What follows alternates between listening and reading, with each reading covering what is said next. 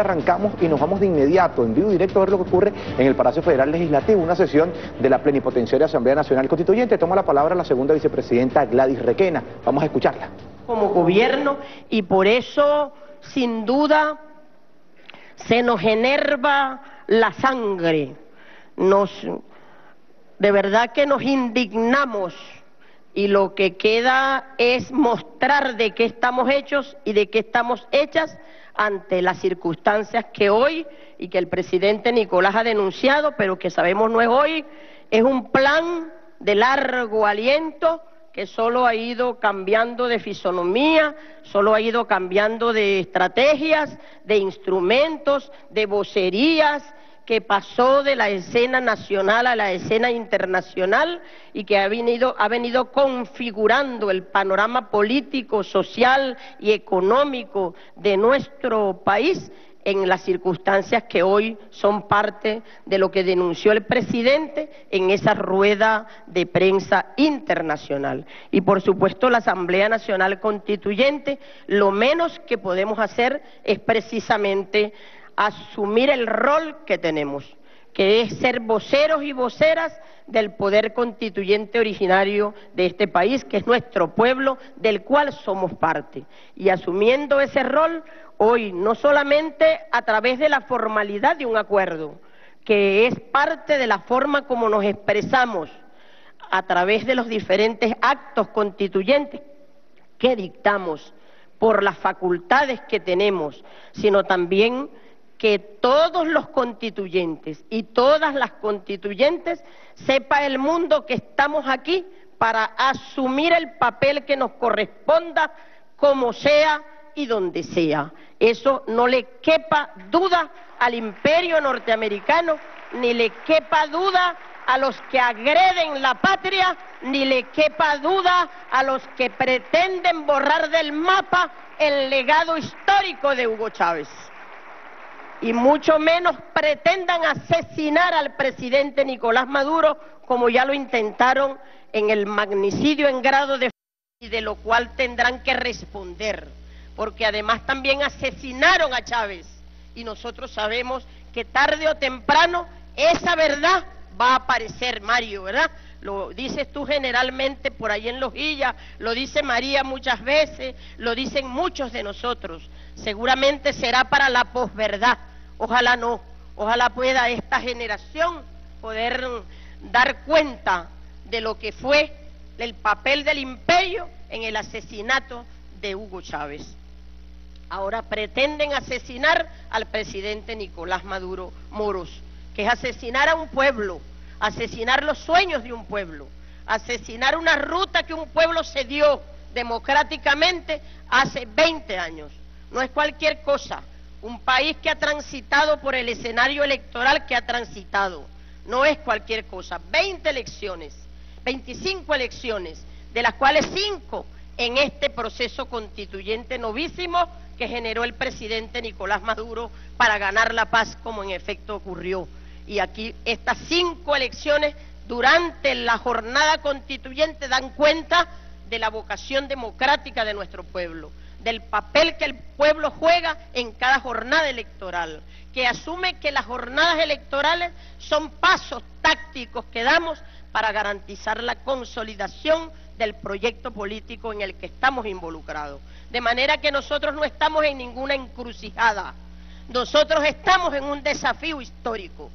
Si alguien piense que estamos en encrucijada, que estamos aquí como en, en situaciones de confusiones, el pueblo de Venezuela no se confunde, ni cree en encrucijadas. El pueblo de Venezuela sabe que tiene un desafío histórico, que tenemos una carga histórica sobre nuestros hombros, que Chávez nos dejó a nosotros aquí responsables con el legado histórico que él comenzó a construir y nosotros estamos en la obligación de culminar su obra, de entregarle a las generaciones del porvenir lo que debe ser la obra de Chávez desde la perspectiva en que él la diseñó. Así que este acuerdo precisamente que está, él habla por sí sola cuando el secretario comience a dar la lectura, se van a dar cuenta de cuál es la disposición de la Asamblea Nacional Constituyente frente a esta nueva agresión que se cierne sobre el pueblo de Venezuela. No es sobre el presidente Nicolás Maduro. Quien pretenda aislar esta lucha, pensar que es contra Maduro, no es contra Maduro, es contra el pueblo de Venezuela y Maduro es uno de nosotros porque Maduro es presidente pueblo, compatriotas, es contra el pueblo de Venezuela. Es lo mismo que las sanciones, no es contra Diosdado, no es contra Escarrá, no es contra Elvis Amorosa, contra Mario Silva, contra los diferentes compatriotas que han sido, Sandario Vivas, que han sido sancionados. Millones de nosotros nos asumimos sancionados, aunque no hayamos sido nombrados, porque sabemos que lo que se trata es precisamente de deslegitimar, desprestigiar la dirección política de la revolución bolivariana. Así que ni es contra Maduro solo, ni es contra Chávez solo. Chávez está hecho millones aquí, como decimos nosotros todos los días, Diosdado está hecho millones, Escarrá está hecho millones, cada uno de los que están ante la agresión imperial por los diferentes métodos que ha usado el imperio, guerra económica, guerra financiera, ahora intervención militar, apoyándose en estados satélites, como el caso de Colombia, agarran un aliado por allí y ponen a ese a que se haga el mandado, ¿verdad? Todo eso sabemos que es contra todo nuestro pueblo. Y aquí estamos, pues, en resistencia, pero para vencer. La resistencia de nuestro pueblo es para garantizar la victoria de la revolución bolivariana. Lo que el comandante Chávez nos trajo a hacer aquí, a cada uno y a cada una de nosotras. Estamos resueltos en ser libres, estamos dispuestos a luchar nuestra independencia, nuestra soberanía. No vamos a permitir agresión a nuestro Estado-nación ni vamos a permitir desintegración a nuestro Estado-nación. Yo voy a cerrar mi intervención con un pequeño mensaje que les deja, nos deja el comandante Hugo Chávez en este librito que recomiendo. Se llama Bolívar y Chávez. Allí hay dirigentes desde el año desde el siglo XIX hasta el siglo XXI. Una trayectoria de hombres como Sandino, como Fidel, y como Chávez. Yo voy a, voy a cerrar esta intervención con la lectura de un pensamiento de Hugo Chávez. Y les pido que lo analicen letra a letra, porque el gigante Chávez lo vio todo. No perdió nada de vista, incluso su propia vida. Todos lo sabemos, pero nunca me había encontrado con una pieza que me indicara esa convicción de Hugo Chávez para ver incluso el futuro. Cito, un millón de veces preferiríamos correr el mismo camino de Simón Bolívar. Ese es el título. Yo hago un llamado a todos, a todas, a que sigamos el ejemplo de Bolívar, incluso si nos tocara de nuevo su propio destino, incluso si tuviéramos que cruzar cien desiertos y cargar cien cruces sobre los hombros. Ese es el ejemplo que nos dio Bolívar, incluso si nuestro destino fuera Santa Marta, de nuevo, sigamos un su ejemplo que sería abono para las futuras generaciones. Sería semilla. Pero un millón de veces es mejor, en vez de terminar cediendo ante las presiones del imperio yanqui y sus lacayos, un millón de veces es mejor para nosotros y para nosotras, en vez de terminar cediendo a las presiones y a las agresiones de la burguesía apátrida, un millón de veces preferiríamos correr el mismo camino de Simón Bolívar, pasar por el ostracismo, por la soledad y por la muerte. Ese es el ejemplo que nos dejó Bolívar. Si ese fuera nuestro destino, que lo sepan los imperialistas, que lo sepan los yanquis, que lo sepan los terroristas, que lo sepan los burgueses venezolanos, que lo sepa la oligarquía colombiana y su ejército de terroristas, que lo sepan los terroristas de Israel desplegados por esta tierra. Yo lo sé estoy condenado a muerte, pero no me importa. Si yo tuviera que morir y regar mi sangre en esta tierra, estoy listo y lo digo aquí, delante de los restos del Padre Libertador. Pero no voy a ceder ante el chantaje, ante las amenazas y llamo al pueblo venezolano a no ceder, a no dejarnos confundir, a no dejarnos atemorizar. Hugo Chávez, año 2010.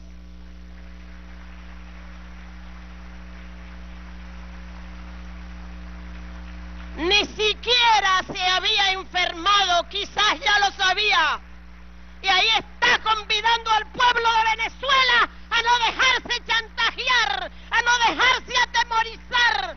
Pueblo de Venezuela, acude al llamado de Hugo Chávez, levanta las banderas de la libertad, levanta las banderas de la soberanía y vamos todos y todas a derrotar las pretensiones imperiales. Vamos, orgullosos, amorosos, chavistas todos y todas, a vencer, carajo, a vencer, no joda.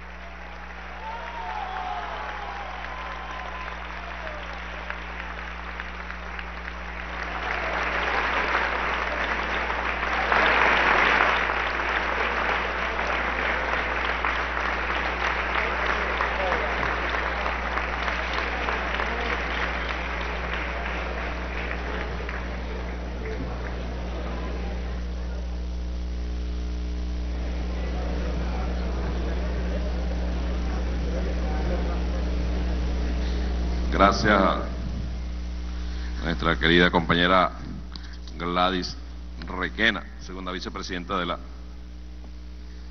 de la Asamblea Nacional Constituyente. Antes de, darle lectura, si me permiten, yo voy a hacer solo un comentario, ¿no? Recordemos, recordemos de dónde venimos, los antecedentes para para llegar donde estamos y escuchar a nuestra compañera Gladys Requena con el amor que le tiene a nuestra patria, el amor al comandante Chávez, el amor a nuestro pueblo, fijar posición que es la de Gladys, pero que estoy seguro que es la de todas y todos los constituyentes que estamos, estamos aquí sentados hoy. Estoy convencido de eso, no tengo ninguna duda. Y digo que digo que recordemos de dónde venimos, ¿no? Y, que hoy ya tenemos claro absolutamente, creo que esto ya es un, un tema de consenso nacional, de los patriotas al menos, quién es el enemigo que tenemos al frente. El enemigo es el imperialismo norteamericano. Y con todas sus formas y sus derivados, ¿no? Y sus aliados pero el enemigo en verdad es el imperialismo norteamericano. Recordemos sus primeras opiniones sobre, sobre el régimen de Venezuela. No, es un, pequeño problema en América. Es un punto allá en, en, el, en, el, en el Caribe casi. Pequeño problema, pero eso lo solucionamos. Y se encargaron de solucionarlo en principio diplomáticamente, acercándose a gente y comprometiendo a gente que luego se nos han ido alejando de la revolución bolivariana porque asumieron compromisos más allá de, de lo ético con estos sectores del imperialismo. Comenzaron a comprar conciencia, pues. Conciencia. Y hubo gente que, o a masajear egos, tú eres el mejor, tú eres la mejor. Y ese pequeño problema para ellos, que no pasaba de amenazas de funcionarios de segundo o tercer grado por allá, se convirtió de repente en un decreto que convertía a Venezuela en una amenaza inusual y extraordinaria. Un decreto que abre las puertas para que en Estados Unidos puedan tomar decisiones de cualquier tipo contra Venezuela, contra nuestro pueblo. Un decreto que nuestro pueblo rechazó, inclusive sectores no chavistas rechazaron, por injerencistas, sectores que aún rechazan ese decreto, sectores no chavistas que de alguna manera pues aman, quieren nuestra patria. Luego comenzaron a desatarse, con ese decreto comenzaron a desatarse los demonios y comenzaron comenzó aquella, aquella versión, hay una gran crisis en Venezuela. Y trataron de fijar que lo que hay es una crisis en Venezuela, la crisis humanitaria, comenzaron por ahí, la crisis humanitaria de Venezuela. La crisis humanitaria en Venezuela. No hay medicinas, no hay no hay comida, que abran un canal humanitario. Hoy nadie habla de canal humanitario. Eso desapareció de la del vocabulario opositor y de y del imperialismo, no, ya no hablan de canal humanitario, no, no. Y con ese canal humanitario comenzaron ellos con el bloqueo contra nuestra patria prohibir que Venezuela compre medicinas en el mundo, prohibir que Venezuela compre alimentos, embargar a todo aquel que pueda hacer negocios con Venezuela, un bloqueo contra nuestra patria. Los temas que ellos hablan, que no sancionaron a tal o a, cual, ¿verdad? Eso es, eso es ridículo. No es contra tal o cual, es contra el país. Es contra nuestra patria. Y siempre claro, ¿no? Porque hay que crear las condiciones, crear las condiciones que en verdad conviertan a Venezuela en una amenaza. Crear las condiciones. Una amenaza, ¿por qué? Ah, comenzó entonces la figura de los migrantes. Se van los mejores. Se van las mejores. Y entonces comenzaron a hablar unos de dos millones, unos de cinco, unos de diez, unos de dos. Total que aquí casi no quedaba nadie. Porque los mejores y las mejores se fueron. Y se generó una gran campaña mundial con tomas, declaraciones. Venezuela, bueno, lo que estaba ocurriendo en Venezuela era el desastre. Creando las condiciones para pasar de esa crisis humanitaria a lo que venía que era la intervención militar para garantizar la paz en la región. Para garantizar la paz en la región. Y ahí se quitaron las caretas. Agosto del 2017, el mismo jefe del imperialismo dijo que era necesario tumbar a Nicolás Maduro como presidente de la República. Mismo dijo, creo que fue el 17, un 17 de agosto del 2017, salió en una reunión que era necesario tumbar al presidente Nicolás Maduro. Intervención. Comenzaron ya a hablar de intervención abiertamente, incluido lo poco que queda de esa oposición desperdigada por el mundo, del liderazgo opositor, no de la oposición, del liderazgo o de la dirigencia opositor. ¿Ah? ¿La? La élite, sí, sí. Los beneficiados de ser dirigentes opositores, que viven en, grandes hoteles, que viven en mansiones, en palacios, que uno no sabe dónde lo pagan, con acceso a los medios de todo tipo para atacar a nuestro país. Ya hablan de intervención, es necesaria una intervención en Venezuela. El vicepresidente que va a recibir de Brasil dijo hace poco que era necesario dar un golpe de Estado en Venezuela para salir de Nicolás Maduro. El presidente de Colombia,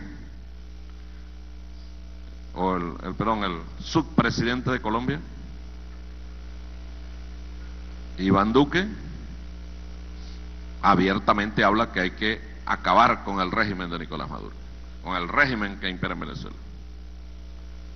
Son las cabezas de playa que va a utilizar o está claro que está utilizando el imperialismo contra nuestro país. Colombia, Colombia, Colombia y Brasil. O mejor dicho, parte del territorio colombiano y parte del territorio brasileño. El gobierno colombiano, el gobierno brasileño. Hasta hablar de invasión contra nuestro país. Una fuerza multilateral de varios países para calmar lo que ocurre, el desastre que ocurre en Venezuela según la derecha. Muchos de estos países, hoy día, con la guerra que hay contra nuestro país, están en peores condiciones que nuestro país, a pesar de la guerra que hay contra nuestro país. Y algún día esos presidentes van a tener que pararse a gobernar sus países y dejar a un lado la habladera de tonterías sobre Venezuela. Algún día. Y así llegamos a las condiciones que ellos quieren crear. Sale una noticia por ahí, Rusia prepara la instalación de una base militar en la Horchila. Ahora, ojalá fuera verdad. Ojalá fuera verdad. No, una, dos, tres, cuatro, diez. Pero ¿con, qué razón dicen eso? Ahora sí es una amenaza a Venezuela. Ahora sí es una amenaza. Están preparando la instalación de la base militar. Ellos que tienen 800 bases militares en el mundo aproximadamente, que han bombardeado pueblos, países, escuelas, liceos, hospitales, se alarman porque aterrizaron tres aviones aquí en Venezuela, de Rusia, en una visita de cortesía. Los que aquí en Venezuela llamaban a la invasión, a la guerra, ahora nos llaman guerreristas a nosotros. Y se pararon a echar gasolina aquí como se pararon a echar gasolina en cualquier lugar del mundo. Ah, pero se pararon en un país amigo. Bienvenido los aviones del, de la Fuerza Aérea Rusa a Venezuela. Llegaron. Una visita, pues. Y los atendimos como buenos compañeros, buenos camaradas, como debe ser. Como debe ser. A ellos no les horrorizaba, por ejemplo, antes que la oficina militar de los gringos estuviera en Fuerte Tiuna. Ahí estaba, la oficina de la misión militar norteamericana estaba en Fuerte Tiuna, hasta que el comandante Chávez los echó de Fuerte Tiuna. Eso no los horrorizaba para nada. Y, debaten y dicen, no, ahora sí, ahora sí viene la guerra porque llegaron los rusos. Vean el miedo. No son los rusos. No, no, no, no. Somos nosotros en verdad. No son los rusos. Somos los que queremos este país, somos los patriotas, los que vamos a defender este país en las buenas y en las malas. Y van a tener que buscarnos y, no se vayan a comer el cuento, yo se los, solo se los recomiendo, señores opositores y el imperialismo. Ya el imperialismo sabe que ellos invaden. ¿Y a quién más a poner aquí? A gobernar este país, un virrey, una cosa de esa. Porque ¿qué es cuálido va a asumir aquí? Ni medio día, ni media hora estaría. ¿Cuál es? Dígame el nombre, pues. ayer el presidente hizo un acto muy bueno, extraordinario. El presidente había dado la orden a la Fuerza Armada Nacional Bolivariana que se conformara un millón de milicianos. Esa fue la orden que se dio en un año. En un año. Un millón de milicianos para el 17 de, le dicen un año no, era menos de un año la fecha, pero la dio el 13 de abril. Y comenzó una jornada interna de conciencia nacional. Bueno, al día de ayer, al día de ayer, fueron incorporados oficialmente un millón seiscientos treinta y dos mil milicianos y milicianas. Millón seiscientos treinta y dos mil milicianos y milicianas. Por eso le digo que no son los rusos, no, no, no, no, no, no. No son los chinos, no, no, no, no. Somos los patriotas y son las mujeres y hombres patriotas que vamos a defender esta patria, el pueblo de Venezuela, que es el pueblo de Bolívar, que es el pueblo de Chávez, de Sucre, de Guaycaipuro, de Josefa Camejo, de José Leonardo Chirino, de Juana Ramírez la Avanzadora, de Antonio José de Sucre. Somos nosotros quienes nos preparamos. Ah, ahora, nunca una ayudadita está de más. Nunca, nunca. Una mano lava la otra y entre las dos lavan la cara. Pero somos nosotros que estamos convencidos que debemos defender esta patria y nos estamos preparando. Y ahí yo debo decirlo, pues una generación de confianza absoluta. Y ahora quiere la oposición meternos miedo con el 10 de enero. Viene el coco el 10 de enero. No, el que viene es Nicolás el 10 de enero.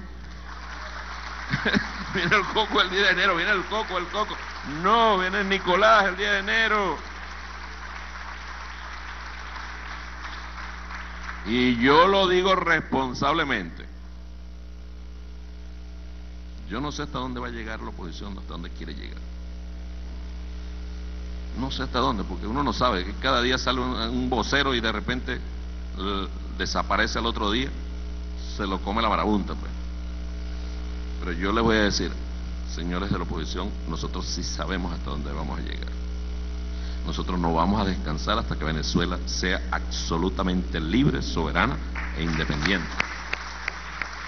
Que va a caer uno de nosotros. ¿Cuántos han caído? Mire, no hay pérdida más dolorosa para nosotros en estas circunstancias que la partida del comandante Chávez. No hay pérdida más dolorosa. No hay, no hay forma pues de sustituir al comandante Hugo Chávez. Y nosotros hemos ido avanzando. Hemos ido avanzando con dificultades, sí. Con muchas dificultades, sí. Pero con mucha conciencia. Y ese recuerdo del comandante del 8 de diciembre pidiéndonos que estemos ante cualquier circunstancia unidos es la única garantía, en verdad. Si nosotros nos vamos, cada quien por su lado, nos van a devorar. Seremos presa fácil a los que se dejan masajear el ego, buscarán a los que creen que tienen proyectos eh, particulares para para ponerle cámaras y ponerle, qué sé yo, micrófonos, buscando dividir las fuerzas revolucionarias. No permitamos que eso ocurra. No permitamos, no, no le hagamos eso al pueblo, ni le hagamos eso a Chávez, ni le hagamos eso a Bolívar. Sería empezar de nuevo otra vez, en circunstancias terribles para cualquier fuerza revolucionaria. Tenemos que aprovechar este instante el 10 de enero yo he convocado, y así lo digo y lo manifiesto, el 10 de enero tomamos Caracas nosotros. El 10 no, perdón, cuálido. Es cuálido, lo voy a aclarar, no es el 10. No es el 10. Antes del 10 de enero nosotros tomamos Caracas. Lo tomamos con los movimientos campesinos, lo tomamos con los trabajadores, lo tomamos con los obreros, lo tomamos con las mujeres, lo tomamos con la milicia, lo tomamos con la juventud, con los estudiantes, lo tomamos con las personas con discapacidad, lo tomamos con los soldados, las soldadas, con los adultos mayores, tomamos Caracas y la cosa es en Caracas, aquí nos van a encontrar. Aquí nos van a encontrar. Si ustedes quieren, nos subestiman señores de la oposición. Si quieren, no subestiman. Piensen, no, que el miliciano es un viejito, no, que la miliciana, eh, el miliciano es un gordo, una viejita. Subestimen, no. Sería bien bueno para ustedes que no subestimen. Recibirían la lección más grande que puedan haber recibido. Nosotros no queremos ningún problema. Queremos que el día 10 10, como establece la Constitución de la República Bolivariana de Venezuela, en paz, en paz, sea juramentado como presidente constitucional de la República Bolivariana de Venezuela el hermano presidente Nicolás Maduro.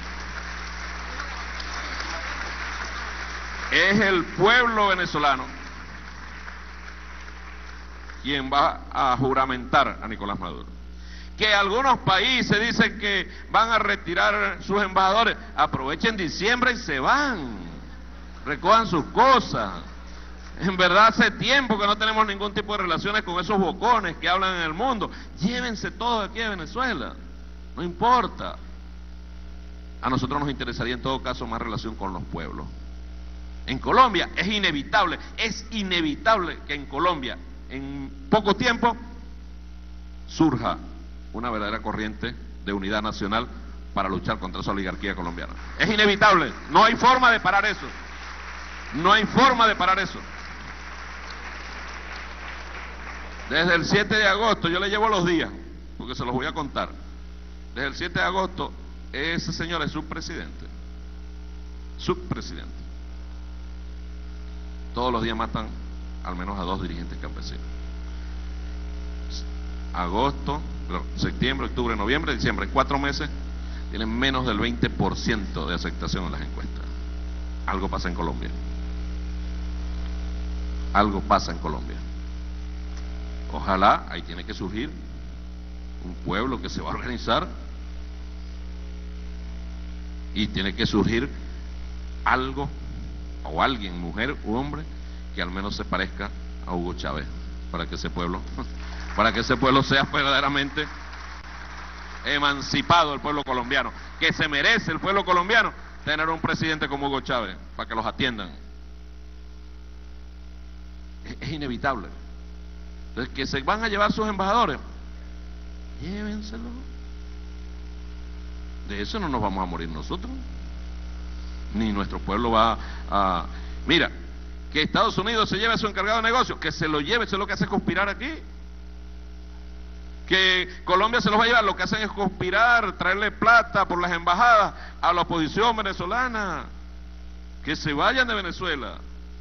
No nos hacen falta aquí.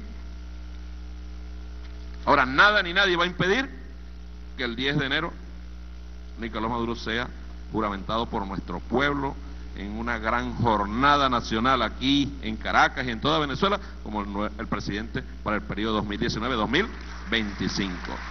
Golpe de Estado. Intento de asesinato. Bueno, ya lo intentaron el 4 de agosto. Esa derecha es tan perversa, tan irracional. Yo leí en estos días una cosa que se llama Parlamento Europeo, ¿verdad? Que ellos creen que nosotros somos colonia, pues, siguen creyendo. Y que ya ellos se pueden reunir y sacar un comunicado, cúmplase en Venezuela. Cúmplase en Venezuela. Pidiendo la liberación de los que pusieron una bomba en un dron para asesinar al presidente Nicolás Maduro, al alto mando militar, al alto mando político. Exigiendo la liberación de los santos niños, ¿cómo se dice? Santos niños de, de Atoche, de Atocha, Atoche. Pobrecito. O sea, el malo es Nicolás que no se dejó matar. Para la Unión Europea, para el Parlamento Europeo. Qué malo es Nicolás que no se dejó matar. Miren, menos mal que no pasó nada ese día. Menos mal que no pasó nada. Y nosotros, yo termino con esto y lo repito. Todo aquel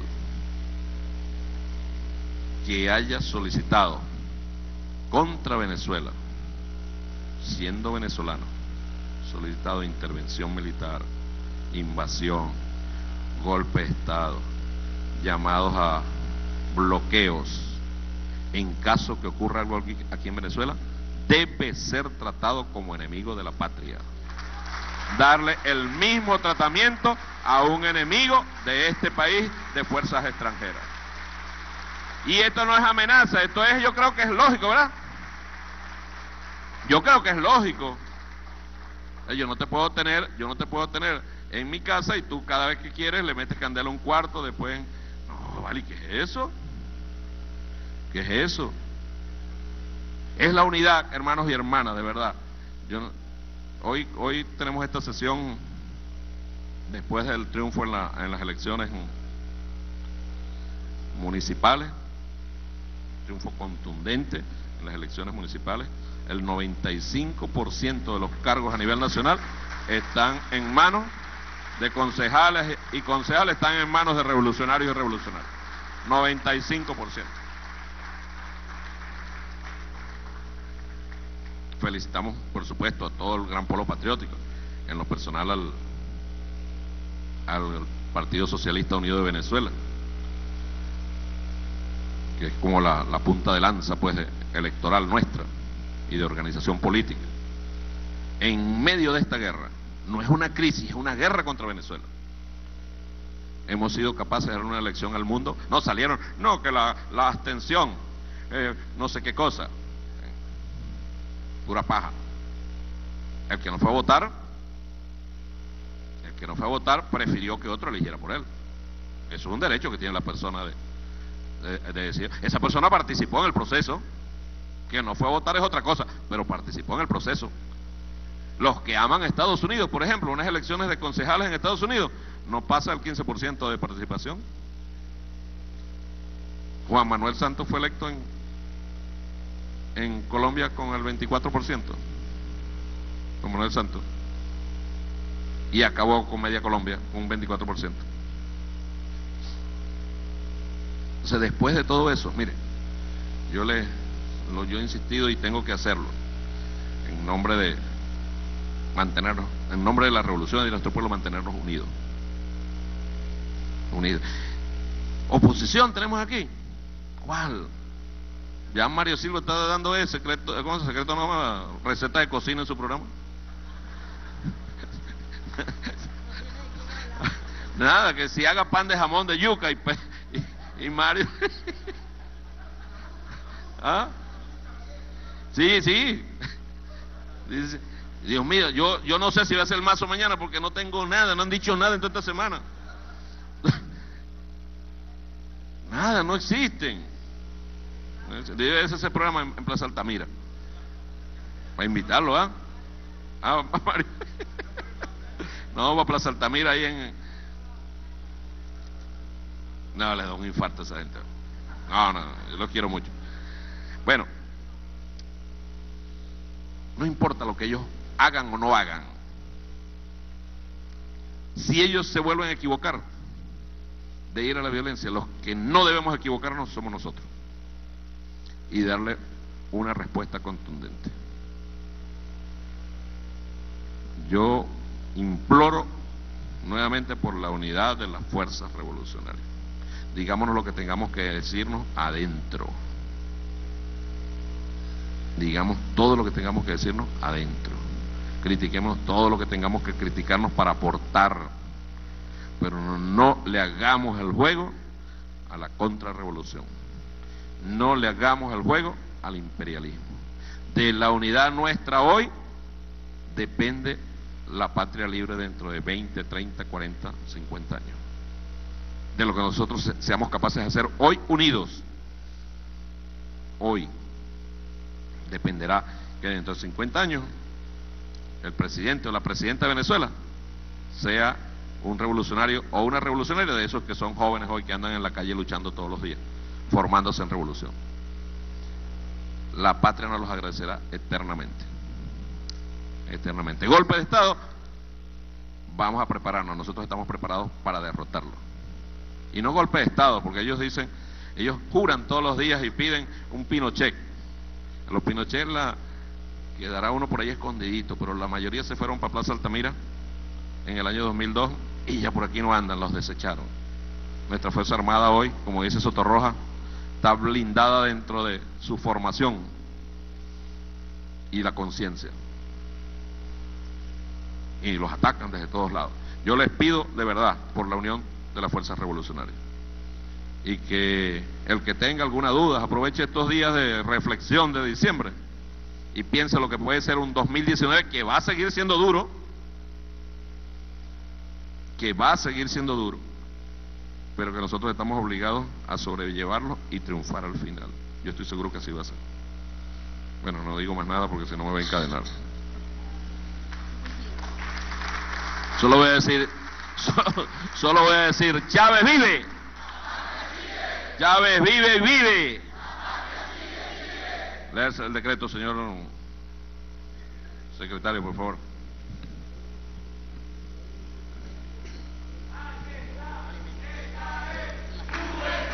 Las que acaban de escuchar del presidente de la Asamblea Nacional Constituyente, Diosdado Cabello, quien eh, eh, exhortaba al pueblo venezolano y a las fuerzas revolucionarias a mantener la unidad y que de esto dependerá la patria libre del día de mañana. Vamos a escuchar parte de los puntos del, orden del día. sistema democrático de la República Bolivariana de Venezuela. Considerando que la República Bolivariana de Venezuela fiel a la acción y pensamiento del padre libertador Simón Bolívar y del comandante Hugo Chávez, declara al mundo su voluntad y compromiso de paz para la consolidación de la integración latinoamericana bajo los sagrados principios de autodeterminación de los pueblos y no intervención en los asuntos internos de las naciones. Considerando que hemos sido testigos de esta voluntad democrática de nuestro pueblo, demostrada en los recientes cinco procesos electorales, donde de manera libre, universal, directa y secreta, los venezolanos y las venezolanas elegimos a los integrantes de la Asamblea Nacional Constituyente, gobernadores y gobernadoras, alcaldes y alcaldesas. Fue reelecto el presidente de la República Bolivariana de Venezuela, Nicolás Maduro Moros, y recientemente elegimos a los y las concejales del país en eventos electorales que se erigen en ejemplo al mundo de nuestra determinación soberana, considerando que los enemigos de la paz y la independencia de la República Bolivariana de Venezuela, bajo la acción directa y promoción del gobierno de los Estados Unidos, han desarrollado su asedio diplomático sin precedentes en nuestra historia, sumando a ello acciones de bloqueo financiero y económico ilegal e inmoral en contra de nuestro país que a estas acciones se adiciona el amparo a los actos de violencia fascista en contra de nuestro pueblo, procurando la destrucción de nuestro Estado-nación y el derrocamiento del gobierno constitucional de la República, así como la ejecución de un plan de intervención militar directa con el uso de gobiernos satélites para alterar el orden constitucional del país, tal como ha sido denunciado por el presidente de la República. Considerando que hemos ratificado desde esta Asamblea Nacional Constituyente nuestra determinación a seguir trabajando en pro de la consolidación de la paz y estabilidad del país, lo cual no solo pasa por la convocatoria y efectiva realización de cuatro procesos electorales convocados por esta instancia, sino además por garantizar las condiciones necesarias para consolidar la continuidad del proceso constitucional de funcionamiento y relación armoniosa los poderes constituidos del Estado venezolano. Considerando que estamos resueltos en unión cívico-militar a consolidar la independencia y soberanía de la República Bolivariana de Venezuela ante el chantaje imperial de convertir nuestra nación en un campo de guerra, como lo hicieron en Libia e Irak, por nuestra decisión de construir con propio paso un sistema político acorde con los intereses del pueblo de Venezuela, en especial consolidando la democracia, la libertad, la igualdad y la justicia social, con el ser humano por centro y el proceso socialista como bandera. Acuerda, primero, rechazar categóricamente los nuevos planes intervencionistas del gobierno de los Estados Unidos, cuyo propósito es sembrar, es sembrar muerte y destrucción en nuestra patria por nuestra decisión de seguir el camino pacífico, democrático y constitucional de construir el sistema político que tiene como único destino el interés y bienestar del pueblo venezolano. Segundo, reiterar como poder plenipotenciario de la República Bolivariana de Venezuela nuestra decisión de continuar siendo garantes del cumplimiento de lo dispuesto en la Constitución Nacional, garantizando el inicio del periodo constitucional del Poder Ejecutivo Nacional 2019-2025 así como la juramentación efectiva del presidente Nicolás Maduro Moro como presidente constitucional de la República para el periodo constitucional precitado, en cumplimiento de la voluntad soberana del pueblo venezolano, emanada en las urnas electorales en ejercicio libre y democrático el 20 de mayo de 2018. Tercero, ratificar nuestra voluntad de paz y diálogo para consolidar el futuro de la República Bolivariana de Venezuela en respeto a la Constitución y las leyes de nuestra nación, así como de la diversidad democrática que garantiza nuestro sistema político, cuyo único interés y legitimador es el pueblo venezolano como país independiente que somos. Cuarto, publíquese el presente acuerdo constituyente en la Gaceta Oficial de la República Bolivariana de Venezuela. Dado y firmado en la Asamblea Nacional Constituyente en Caracas, a los 18 días del mes de diciembre del año 2018, año 208 de la independencia, 159 de la federación y 19 de la revolución bolivariana. Cúmplase. Diosdado Cabello Rondón, presidente. Tania Valentina Díaz, primera vicepresidenta. Gladys del Valle Requena, segunda vicepresidenta. Carol y Helena Pérez, subsecretaria. Fidel Ernesto Vázquez, secretaria. Es todo, presidente. En consideración, los constituyentes y la constituyente que estén de acuerdo, solo con la señal de costumbre, queda aprobado.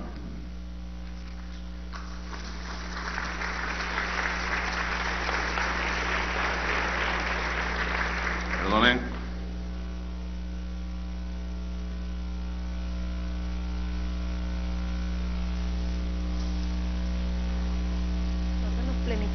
En seguir consolidando la paz y el diálogo en el país, así como también continuar siendo garantes de la constitucionalización del poder, del proceso de continuidad. Responsable porque desafortunadamente el día 23 de noviembre 23 de noviembre, un compañero constituyente, Eduardo Rodríguez, un accidente de, tránsito, falleció y nos leemos, ¿verdad?, a sus familiares, a su hijo, su esposa, la profesora Yadra, a todas y a todos. Nosotros lamentamos profundamente la partida del compañero y nuestro reconocimiento a su trabajo aquí. Y yo quisiera en nombre de esta asamblea, darle un minuto de aplauso al compañero Eduardo Rodríguez.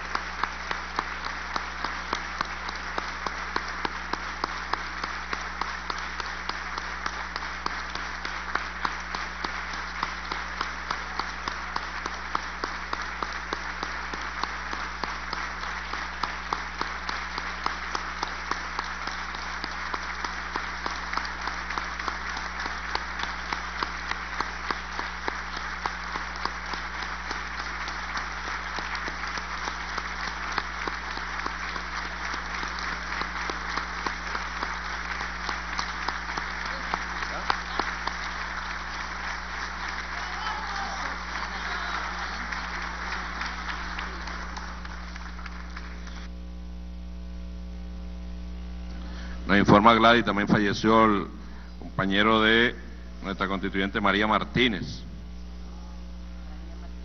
María Martínez, de Comunas. Falleció su esposo, querida compañera. Bueno, adelante. Mucha fuerza, mucha fuerza. Siguiente punto, ciudadano secretario. Acuerdo constituyente de felicitación al pueblo venezolano y a las instituciones de la República Bolivariana de Venezuela por la jornada electoral democrática, pacífica, libre, soberana e independiente del día 9 de diciembre de 2018. Es todo, presidente. Tiene la palabra constituyente Francisco Amaliax Horta. Y ayer estaba el acto de la milicia un millón. Este es uno de los de los milicianos, pero además uno de los columnas fundamentales de la organización de más de un millón seiscientos mil venezolanos como milicianos y milicianos. Nuestro querido compañero, comandante, comandante de la milicia Francisco Meliá.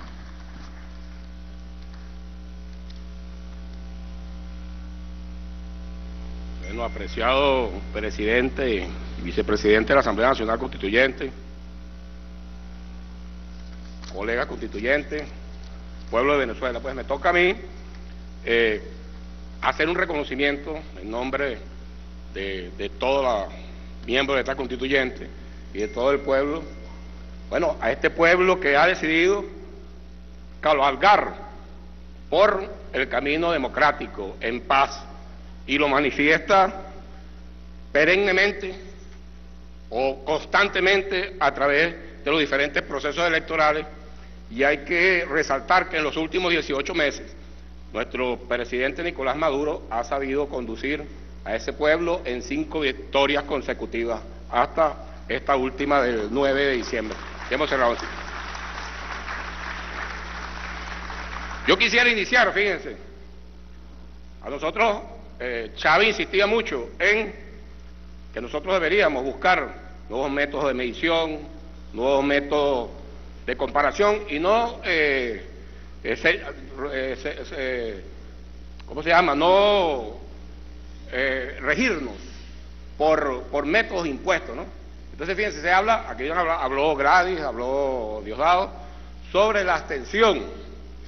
Y medimos los procesos electorales con la abstención. Hay una, hay una, una gráfica, no sé si qué cámara pudiese, pudiese acá enfocarla, ¿no? Esta gráfica que está acá. ¿Ya lo están enfocando? Ajá.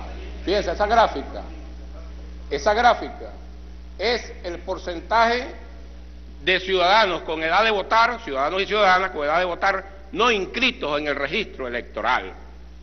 Ese, ese indicador no podemos nosotros olvidarlo cuando hablamos de la participación, porque no es lo mismo, no es lo mismo una extensión o una participación de 27% con 20% de no inscritos en el registro electoral o una participación del 20% con un porcentaje de 1% no inscrito en el registro electoral.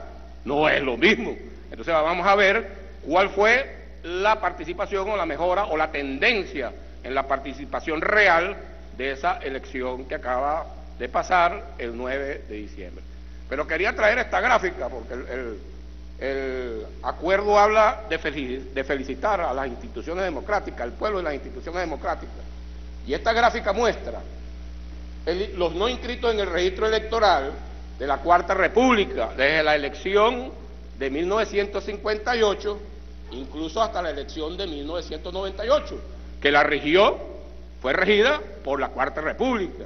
Entonces vemos cómo, por ejemplo, la elección del 58, la de Betancourt fue 15,33%, los venezolanos con edad de votar no inscritos en el registro electoral.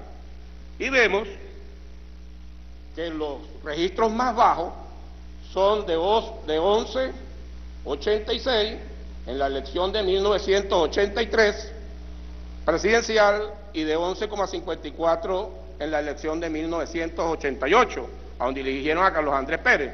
No fíjense cómo hablan la matemática. Después en 1989 vino la rebelión popular se dieron cuenta que aquí el pueblo despertó y se da cuenta de que aquí no había una democracia, sino un pacto de conciliación de élite y manifiesta su rechazo con un 19,43% de no inscritos en el registro electoral. Ahora fíjense lo que está acá, que es histórico y muestra. Esta lámina por sí nos ahorra aquí muchos debates y muchas discusiones con respecto a la participación. Lo que está aquí en rosado es luego de haberse aprobado la Constitución de 1999 y vemos la tendencia que es a la baja, pero completamente. Vemos entonces que la elección del 2000 los no inscritos en el registro electoral era 19,7. En el referéndum aprobatorio era de 13.57. En el 2006, en la, elección de Chávez en el 2006, fue de 6,49 y hay un registro histórico por primera vez en toda la historia democrática del país, baja a un dígito.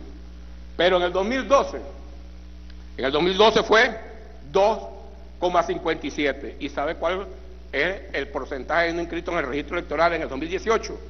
1.6.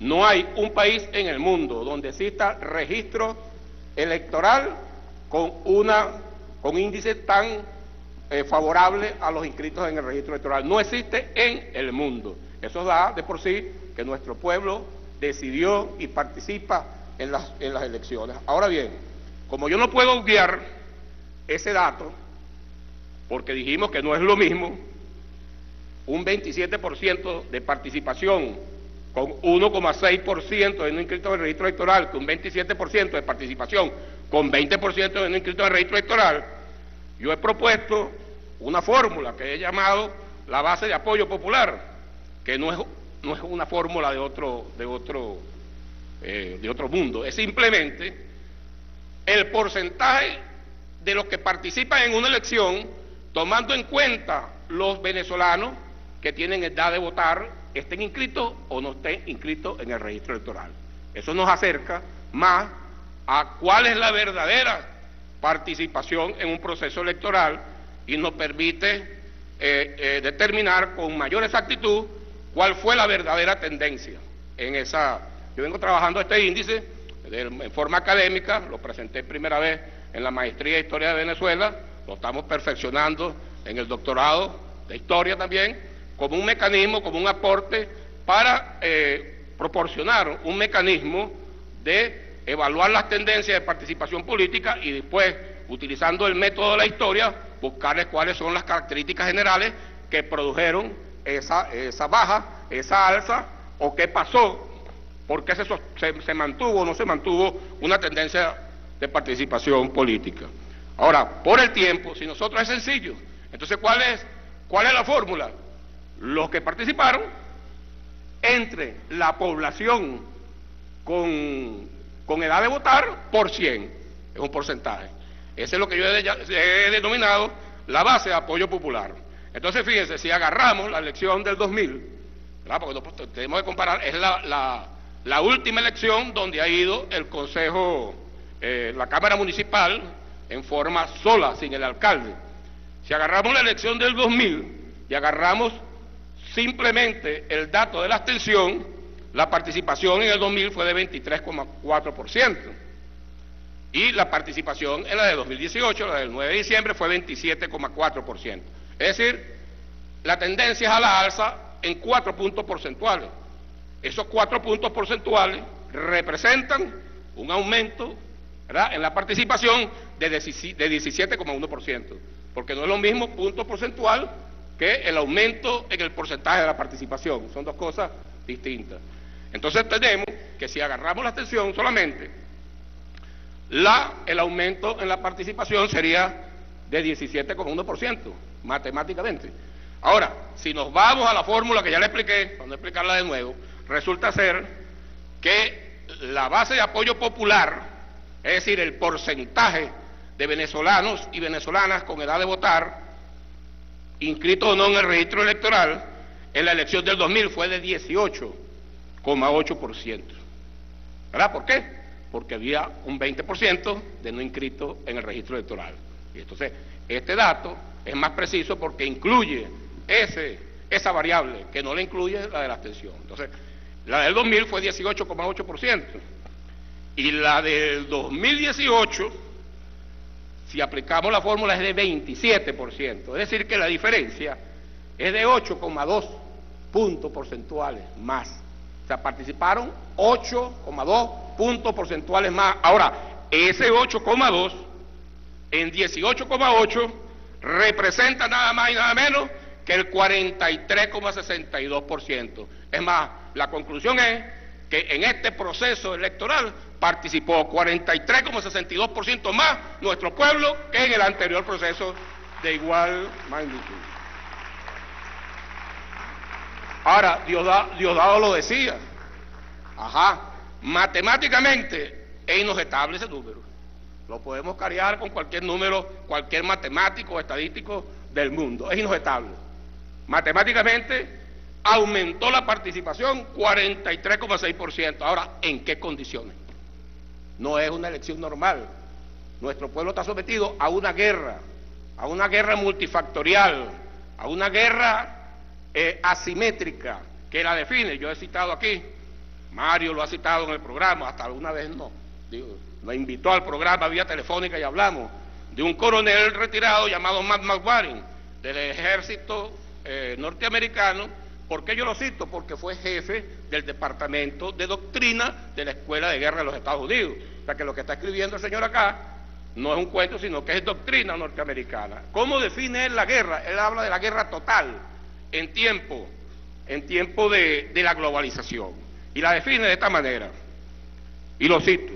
esto salió en Militar Review, que era una revista que obligaba a Diosdado y a mí, nos la regalaban para que la leyéramos cuando estábamos en la academia militar, ¿verdad? Para metiéndonos la, la doctrina norteamericana, ¿verdad?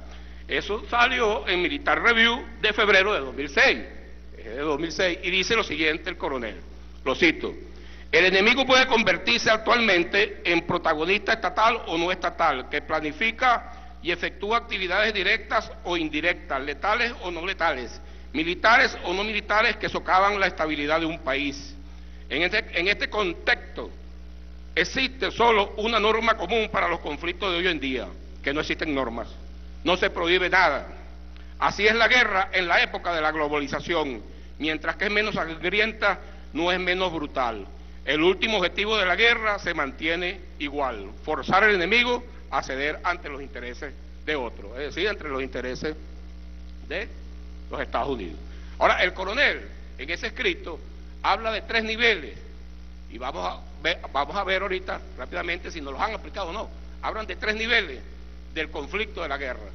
El primero es la guerra indirecta, que es la guerra que, que, hacen personas naturales o jurídicas que están en el país. La guerra indirecta, la que hace la oposición y la que a veces se traen elementos de afuera y siembran la posición acá. Y dicen que esa guerra indirecta tiene tres formas. La desestabilización económica y el ataque a la moneda, el golpe de Estado, como lo conocemos, que ellos no dejan de trabajar a nuestros militares, buscándose que salga alguien que pueda dar un golpe de Estado, y la tercera es la ocupación o la, o la toma de territorio y espacio político a través de organizaciones criminales, la guarimba o lo que han hecho en Siria. Ese es el primer nivel. El segundo es generar el descontento a través de la guerra psicológica y a través y generar descontento popular y a la vez aplicar medidas para imposibilitar a los estados de que, que, de que puedan resolver lo que está generando ese descontento. Cuando lo vemos en Venezuela, cómo ellos producen ¿verdad? el ataque a nuestra moneda, pero a la vez nos bloquean económicamente para que nosotros no podamos obtener financiamiento, ni podamos adquirir medicina, ni alimentos. Y el tercero, fíjense que, que, importante es esto, el tercero es la ocupación o la, o la invasión militar al territorio agredido, y dice el coronel, generalmente hoy en día, hoy en día encubierto como intervención humanitaria, porque la intervención humanitaria es el pretexto para introducir elementos logísticos y de apoyo a la guerra indirecta. Eso es lo que nos vienen aplicando. Ahora, nosotros nos preguntamos, ¿cómo nuestro pueblo ha resistido? Ha resistido esta guerra y la seguirá resistiendo y vamos a ser victoriosos, porque Venezuela jamás y nunca será colonia de ninguna potencia en el mundo.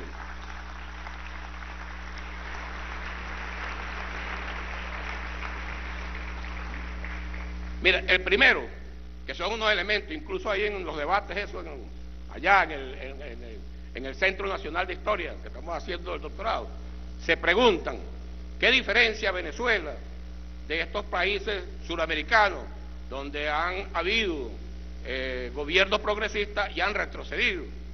Y hemos llegado a la conclusión de tres elementos fundamentales. El primero es el ideológico. Sin ideología no hay nada. Y Chávez lo escribió aquí y voy a permitir leerlo. Aquí está nuestro Génesis, el libro azul. El libro azul fue, escrito en 1991. Y Chávez, brevemente aquí, en la preliminar del libro azul, nos dice lo siguiente.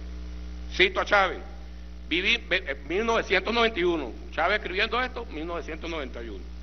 Ah, que recogió, quizás antes, ¿no? Eso eran muchos debates, muchas eh, discusiones, pero él resumió todo eso que debatíamos en la escuela la escuela militar de más o menos del año 1982 y en 1991 hizo pues las líneas gruesas de lo que fue el proyecto nacional Simón Bolívar. En el preliminar decía lo, siguiente, cito a Chávez, vivimos efectivamente una era donde las ideologías parecieran extinguirse. El fin de las ideologías, así lo ha llamado no pocos estudiosos de la época. Por otra parte, se ha dado, se, ha dado persistentemente la tendencia en nuestros pensadores contemporáneos de buscar modelos en otras latitudes para incorporarlos y traer, traerlos e implementarlos en nuestra sociedad. Mientras tanto, nuestros pueblos han ido, se han ido alejando cada vez más de sus raíces históricas. Y sigue Chávez. Y es precisamente en este marco, con el propósito de hallar recursos válidos para que nuestro pueblo avance por el mapa intrincado y complejo del futuro que nos hemos atrevido a invocar un modelo ideológico autóctono y enraizado en lo más profundo de nuestro origen y en el subconsciente, en el subconsciente histórico del ser nacional. Un proyecto dirigido a nuestra historia, es decir, a más de 15.000 años de historia, de historia de nuestros, de nuestros pueblos indígenas, de nuestros pueblos originarios, y a más de 500 años de resistencia indígena, de resistencia de nuestros pueblos originarios, porque la independencia de Venezuela no comenzó en el siglo XIX, la independencia de Venezuela comenzó el mismo día de que los invasores europeos llegaron a nuestro territorio, en 1498. Y nosotros, fíjense, algo curioso que estos días revisando, hay un estudio del 2015, un estudio de ADN mitocondrial, hay un estudio de ADN mitocondrial del, 2000, del 2015, eh, realizado en el IBIT, y se dice, nuestro, nuestros pueblos, o sea, nosotros, actualmente, nuestra composición genética es 75 en promedio, es 75% indio, 17% negroafricano y 8% europeo. Por aquí corre esa sangre indígena que, que prefirió morir antes de ceder y ser esclavizado. Y luego en el siglo XVI vinieron nuestros, los negros africanos hicimos la alianza que nos dio la independencia. Eso somos nosotros, los venezolanos. Y bueno, en esta época, en todo este trayecto, se creó, nuestro pueblo rescató su verdadera memoria histórica, su verdadera herencia histórica. Y rescatar esa herencia histórica con los discursos de Chávez, con los discursos de Maduro y con nosotros en la calle, que debemos cada día profundizar en la parte ideológica, en nuestra memoria histórica, ha creado, ha conformado una conciencia histórica transformadora de nuestro pueblo, que es lo que nos lleva, sin ideología, sin memoria historia, histórica, sin conciencia histórica, no hay más nada, no hay, no hay nada que hacer, porque los otros dos elementos que nos mantienen en pie es la organización popular. Y la organización popular no se decreta. La organización popular, si no hay una convicción ideológica, si el compatriota no sabe para qué se está organizando y qué es lo que está defendiendo, pues no habrá, es mentira, no habrá organización. Y sin ideología y sin organización popular, no habrá unión cívico-militar, que es el otro elemento fundamental. Entonces nosotros tenemos tres elementos fundamentales que sostienen a este pueblo basado en nuestra historia, en nuestra ideología, que es chavista.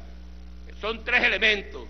Nuestra conciencia histórica, nuestra organización y la conciencia de nuestros militares, la unión cívico-militar, que no es otra cosa que la función del mismo pueblo en armas, y lo vimos ayer, pues, la milicia conformándose y los nuestros militares de escuela con nuestra milicia. Entonces, cuando hablamos, ya, estoy llegando a los 15, cuando, cuando hablan de Nicolás, que Nicolás, es el mismo error que cometía con Chávez, no, que Nicolás se va no, no es Nicolás, Nicolás es el chavismo. Nicolás encarna a ese pueblo que ha tomado conciencia histórica. Nicolás encarna al pueblo organizado, barrio por barrio, comunidad por comunidad, calle por calle. Nicolás Maduro encarna la unión cívico-militar. Nicolás Maduro somos todos. Así que si quieren acabar con la revolución tendrán que acabar con todos nosotros y eso es imposible. Con el pueblo de Venezuela, con el pueblo de Bolívar, Nadie podrá, nadie, nadie va a acabar y nosotros vamos a ser por siempre soberanos y un pueblo libre. Con esto concluyo diciendo que Chávez vive. Independencia y patria socialista.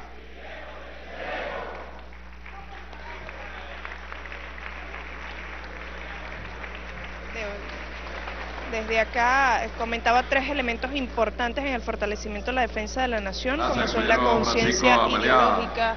Vamos a seguir escuchando parte de las declaraciones ofrecidas por el presidente de la ANC. Señor secretario, por favor, lea el acuerdo, ¿se está amable? Acuerdo constituyente de felicitación al pueblo venezolano y a las instituciones de la República Bolivariana de Venezuela por la jornada electoral democrática, pacífica, libre, soberana e independiente del 9 de diciembre de 2018.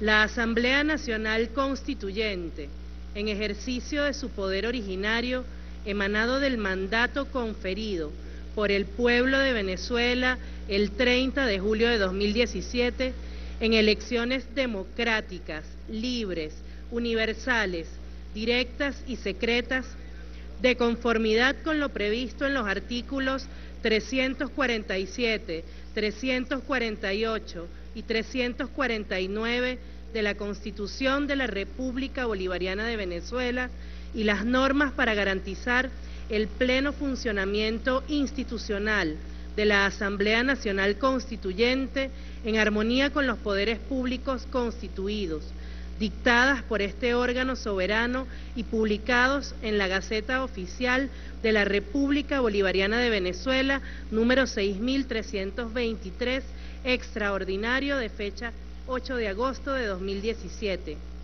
Considerando que la República Bolivariana de Venezuela, como Estado social de derecho y de justicia, fomenta como eje central de su sistema político el ejercicio democrático, protagónico y participativo de los venezolanos y las venezolanas en la elección de cargos y en ejercicio directo del poder, considerando que la Asamblea Nacional Constituyente, en aras de fortalecer la paz en la República y ante las acciones violentas del fascismo para alterar el orden constitucional en la República Bolivariana de Venezuela, convocó elecciones para gobernador y gobernadora de Estado, elección de alcaldes y alcaldesas de municipio en 2017, la elección presidencial del 20 de mayo de 2018, así como el proceso celebrado el pasado 9 de diciembre para que los venezolanos y las venezolanas en paz, democracia, amplias libertades políticas de manera universal, directa y secreta, expresaran al mundo su determinación patriótica y soberana. Considerando que las elecciones de concejales y concejalas del 9 de diciembre de 2018 ratifican la solidez democrática de la República Bolivariana de Venezuela, así como la convicción del pueblo venezolano de consolidar el Estado social de derecho y de justicia dispuesto en la Carta Magna, con sus propios pasos y sin ceder al chantaje o amenaza imperial que pretende horadar la soberanía de nuestra nación. Considerando que en unión cívico-militar las instituciones democráticas de nuestra patria conjugaron esfuerzos para facilitar la participación del pueblo venezolano en la vigésimo quinta elección en tiempos de revolución bolivariana, especialmente en el trabajo del Consejo Nacional Electoral y de la Fuerza Armada Nacional Bolivariana, quienes hermanadamente realizaron todos los esfuerzos necesarios para fortalecer este evento democrático de expresión popular considerando que esta Asamblea Nacional Constituyente reconoce especialmente el esfuerzo del Poder Electoral que ha configurado un sistema electoral ejemplo para el mundo entero, con auditoría previa, durante y posterior en cada uno de sus procesos y con la garantía plena de los principios de protección del derecho al sufragio. Considerando que el pueblo venezolano ha dado un mensaje al mundo, evidenciado en los recientes procesos electorales llevados a cabo en nuestro país, de vocación pacífica, democrática y de resolución de conflictos en el marco del diálogo constructivo y no de las inmorales presiones producto de bastardos intereses imperiales que pretenden arrodillar la voluntad nacional de construir un futuro de progreso y libertad para todos y para todas.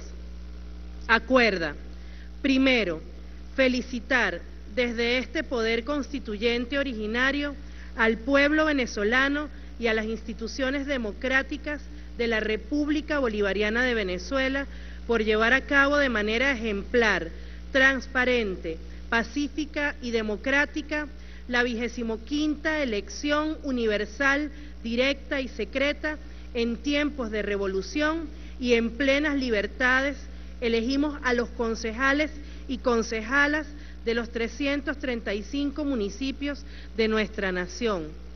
Segundo, reconocer la encomiable labor del Consejo Nacional Electoral y de la Fuerza Armada Nacional Bolivariana, instituciones de la Quinta República, quienes con firmeza, eficiencia, capacidad y entrega patriótica nos brindaron el mayor de sus esfuerzos, cuyo resultado final fue un proceso electoral pacífico y de completas garantías electorales. Tercero, ratificar desde la Asamblea Nacional Constituyente nuestra firme voluntad de seguir ahondando esfuerzos para consolidar la paz, integridad, independencia y soberanía de la República Bolivariana de Venezuela en el ejercicio del poder emanado del pueblo venezolano y en pro de la construcción de una sociedad donde la igualdad y la justicia social sean el emblema del futuro de la mano de la acción y el pensamiento del padre libertador Simón Bolívar y del comandante Hugo Chávez Frías. Cuarto, publíquese el presente acuerdo constituyente en la Gaceta Oficial de la República Bolivariana de Venezuela, dado y firmado en la Asamblea Nacional Constituyente en Caracas a los 18 días del mes de diciembre de 2018 años 208 de la independencia, 159 de la federación y 19 de la revolución bolivariana. Cúmplase. Diosdado Cabello Rondón, presidente, Tania Valentina Díaz, primera vicepresidenta, Gladys del Valle Requena, segunda vicepresidenta, Fidel Ernesto Vázquez, secretario, Carolis Elena Pérez González, subsecretaria. Es todo, presidente. Gracias, Crowley. En consideración, la constituyente y los constituyentes que estén por votarlo, hacerlo con necesidad de costumbre. Aprobado. Siguiente punto, señor secretario. Decreto constituyente que aprueba la ley de presupuesto para el ejercicio económico financiero del año 2019, la ley especial de endeudamiento anual para el ejercicio económico financiero del año 2019 y el plan operativo anual del año 2019. Es todo, presidente. Gracias, secretario. Tiene la palabra Andrés Eloy Méndez.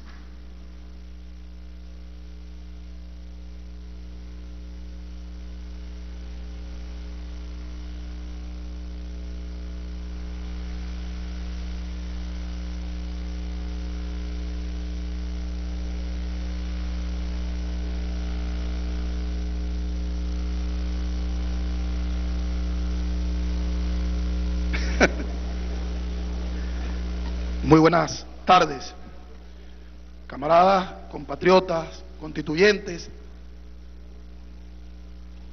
público del, pueblo venezolano que nos acompaña aquí adentro y otro que nos ve y nos escucha. Presidente Cabello, vicepresidenta Gladys Requena. Quiero primero sumarme desde el bloque falconiano de constituyentes sectoriales constituyentes territoriales a la pena que nos acoge por la pérdida de un hermano como fue Eduardo Rodríguez y como representante del municipio José Laurencio Silva, conocido por todo como Tucacas, siempre lo caracterizó su cordialidad, su receptividad y su forma. Vaya a su esposa y a sus hijos, nuestro abrazo y me sumo a las expresiones del presidente Cabello y lo hago en nombre del bloque falconiano. Vamos a hablar del presupuesto nacional. Vamos a hablar de la ley de crédito público. Y también vamos a hablar de la ley de ingresos y egresos del Banco Central de Venezuela. Pareciera un tema eminentemente técnico, y lo es, pero sin duda alguna con una direccionalidad ideológica. Hay una premisa para la economía. La economía, claro que es ideológica, por supuesto que no es asexuada, porque los capitales y activos de una república deben subordinarse al interés del pueblo. Así lo creemos los progresistas, los socialistas. Pero también es cierto que la economía tiene un elemento matemático. Y como matemática, bueno, es inexcusable. El presupuesto nacional es una herramienta donde el Ejecutivo desarrolla sus políticas, sus fines, sus maneras de atender al pueblo en un año fiscal. Es un predio, un supuesto. Y se basa en estimación de ingresos. En el caso nuestro, venezolano, tenemos tres ingresos fundamentales. El ingreso petrolero, el ingreso tributario y el ingreso del crédito público. Son las tres formas. Cómo ingresa el dinero a la República de manera ordinaria. En este presupuesto del año 2019, como bien lo dijo nuestra vicepresidenta Delcy Rodríguez Gómez, alcanzamos la cifra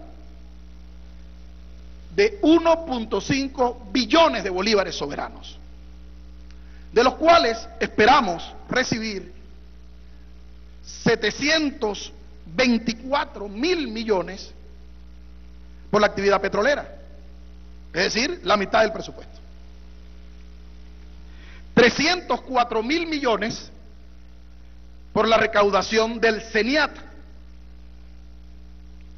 y 500 mil millones a través del crédito público internacional. Con eso sumamos los 1.5 billones del presupuesto para el año 2019. ¿Qué pretendemos? ¿De dónde salen estas cifras? Bueno, pretendemos superar los 2 millones de barriles diarios de producción para el año que viene. Es una meta. Y nos estimamos un precio que oscila entre 55 y 60 dólares el barril. Y creemos además conveniente recurrir a refinanciamiento de nuestra deuda, a reprogramación de nuestra deuda, por un monto cercano a los 270 mil millones de bolívares soberanos. Herramienta que todo gobierno utiliza para poder solventar, afrontar tan criminal situación de bloqueo como la que hoy ocurre en Venezuela. Tenemos cinco premisas fundamentales del presupuesto 2019.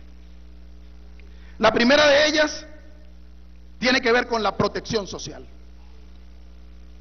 Allí tenemos el 75.2% de los egresos. Ya hablamos de los ingresos. Ahora hablamos de los egresos. El 75.2% de los egresos es para protección social.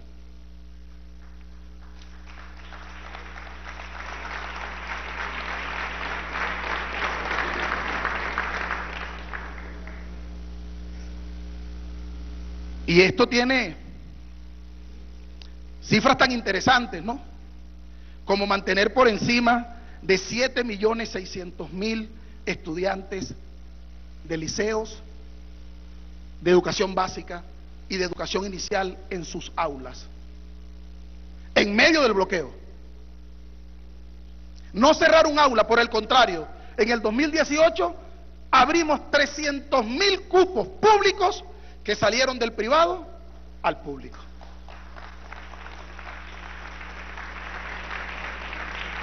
Y en el 2019 se mantendrá la tendencia. Esa es la diferencia. Empezamos a ver los rasgos del presupuesto. Debo decir, y me lo apunta aquí el presidente Cabello de manera muy responsable, que toda esta información que hoy compartiremos con ustedes, nuestro amado y respetado profesor Julio Escalona, Jesús Faría, Busi, la logramos obtener de jornadas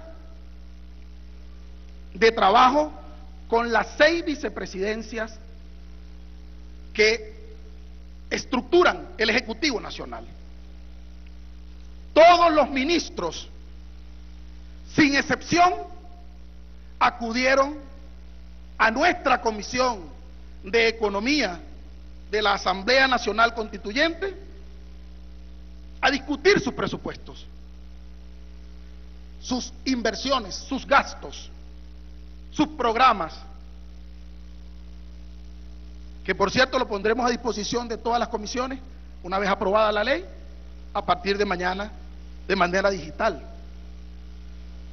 para que veamos todos los proyectos, los objetivos, etcétera, etcétera. Y finalmente ayer tuvimos una sesión, digamos,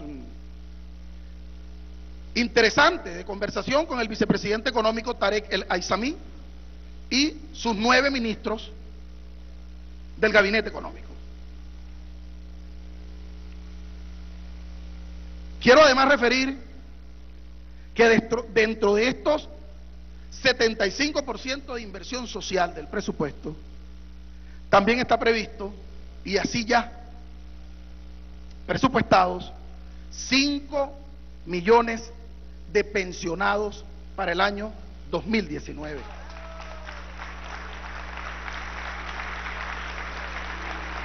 Gladys Requena. Ayer conversaba con Gladys. que estamos en vivo, no se preocupe. Pasa que el aire pega aquí y reseca. 5 millones de pensionados pues, para el año que viene. Asume Maduro, asume la revolución, la estadística de inclusión. Y como se estima que el año que viene pudiéramos tener unos 400 o 500 mil, ya Maduro está previendo en este presupuesto de guerra, de bloqueo, el amor a la educación inicial, a la básica, a los liceos, a la universitaria y a sus amados abuelos. Rasgos del presupuesto, ¿no? Datos interesantes. Se mantienen las 500 mil viviendas para el año 2019 como meta, pero además con el 57% construidas en manos del Poder Popular.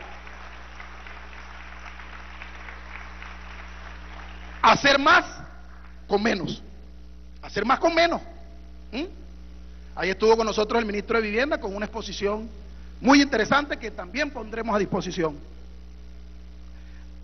de los constituyentes. Hay otros rasgos más de esta primera línea, son cinco líneas que tiene el presupuesto. Les dije la primera, sistema de protección social. Les di tres temas, les voy a dar uno más de los que nos llamó poderosamente la atención.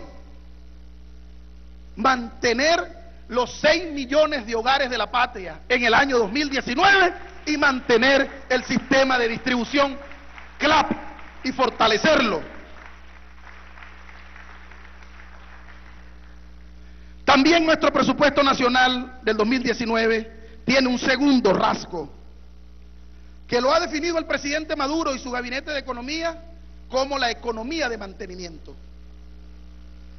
Economía de mantenimiento. ¿Qué es economía de mantenimiento? Bueno, estamos en guerra.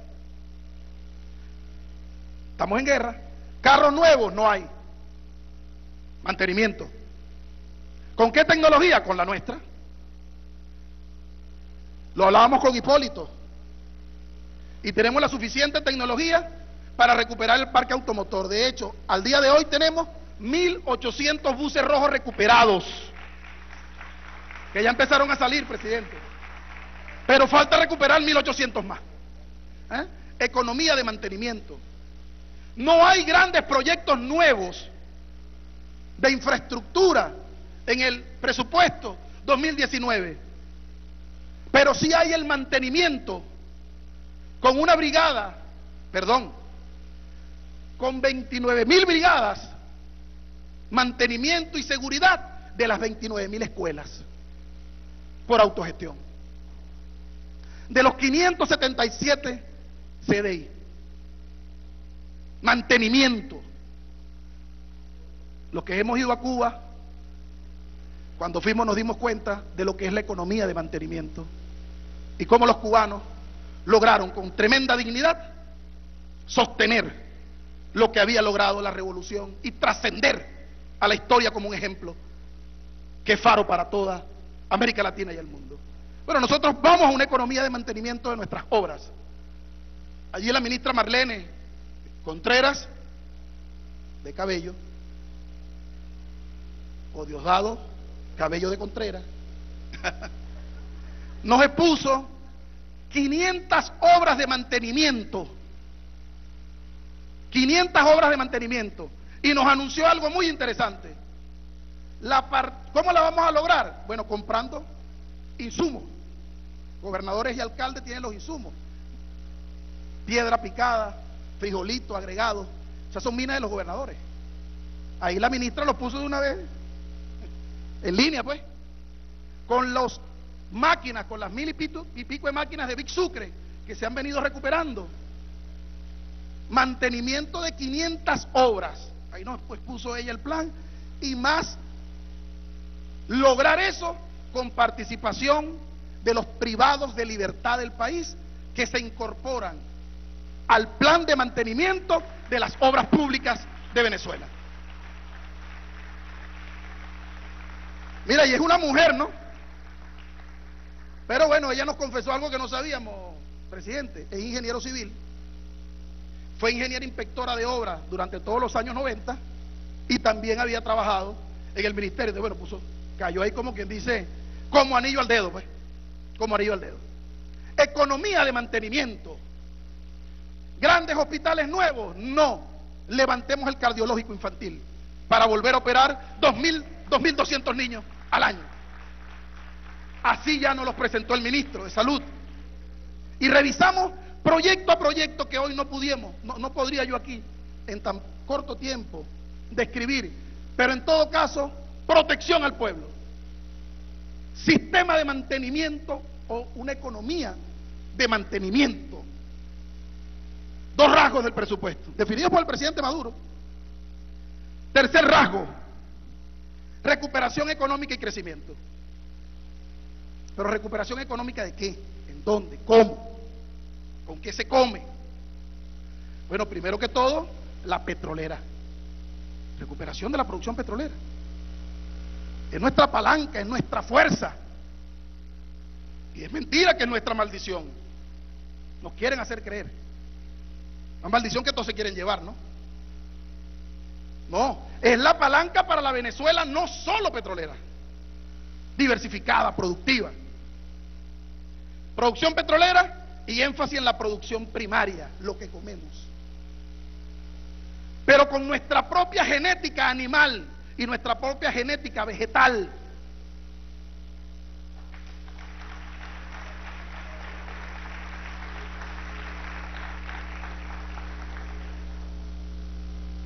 Con el estudio minucioso y aprovechamiento de nuestra agroecología. Para eso, presidente, el ministro Castro Soteldo se ha comprometido a venir la primera semana de enero para entrar en detalles. Que cómo es que se ponen flacos los cochinos y los pollos si no llega el alimento balanceado con la soya que viene de Canadá. ¿Y quién alimenta al váquiro? No es nuestra agroecología, Fernando, allá en la Sierra Falconiana. ¿Ah? ¿Y quién alimenta al gallinazo? ¿Quién anda atrás del venado para que llegue a ese kilo, chicos? Pero llega. Ah, porque tenemos que ensamblar el paquete que viene de fuera para producir. Entonces, tenemos que resolver el gran dilema en la producción primaria de dejar de ser ensambladores de una cultura impuesta y pasar a ser productores de nuestra propia agroecología en el 2019.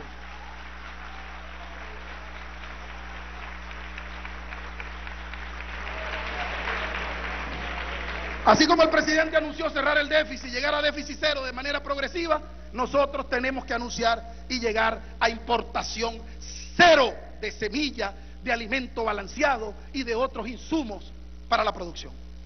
Conocimientos ancestrales, validación de conocimientos. El ministro de Educación Universitaria también fue citado para enero para seguir trabajando con mucha fuerza y apoyar esa línea de producción.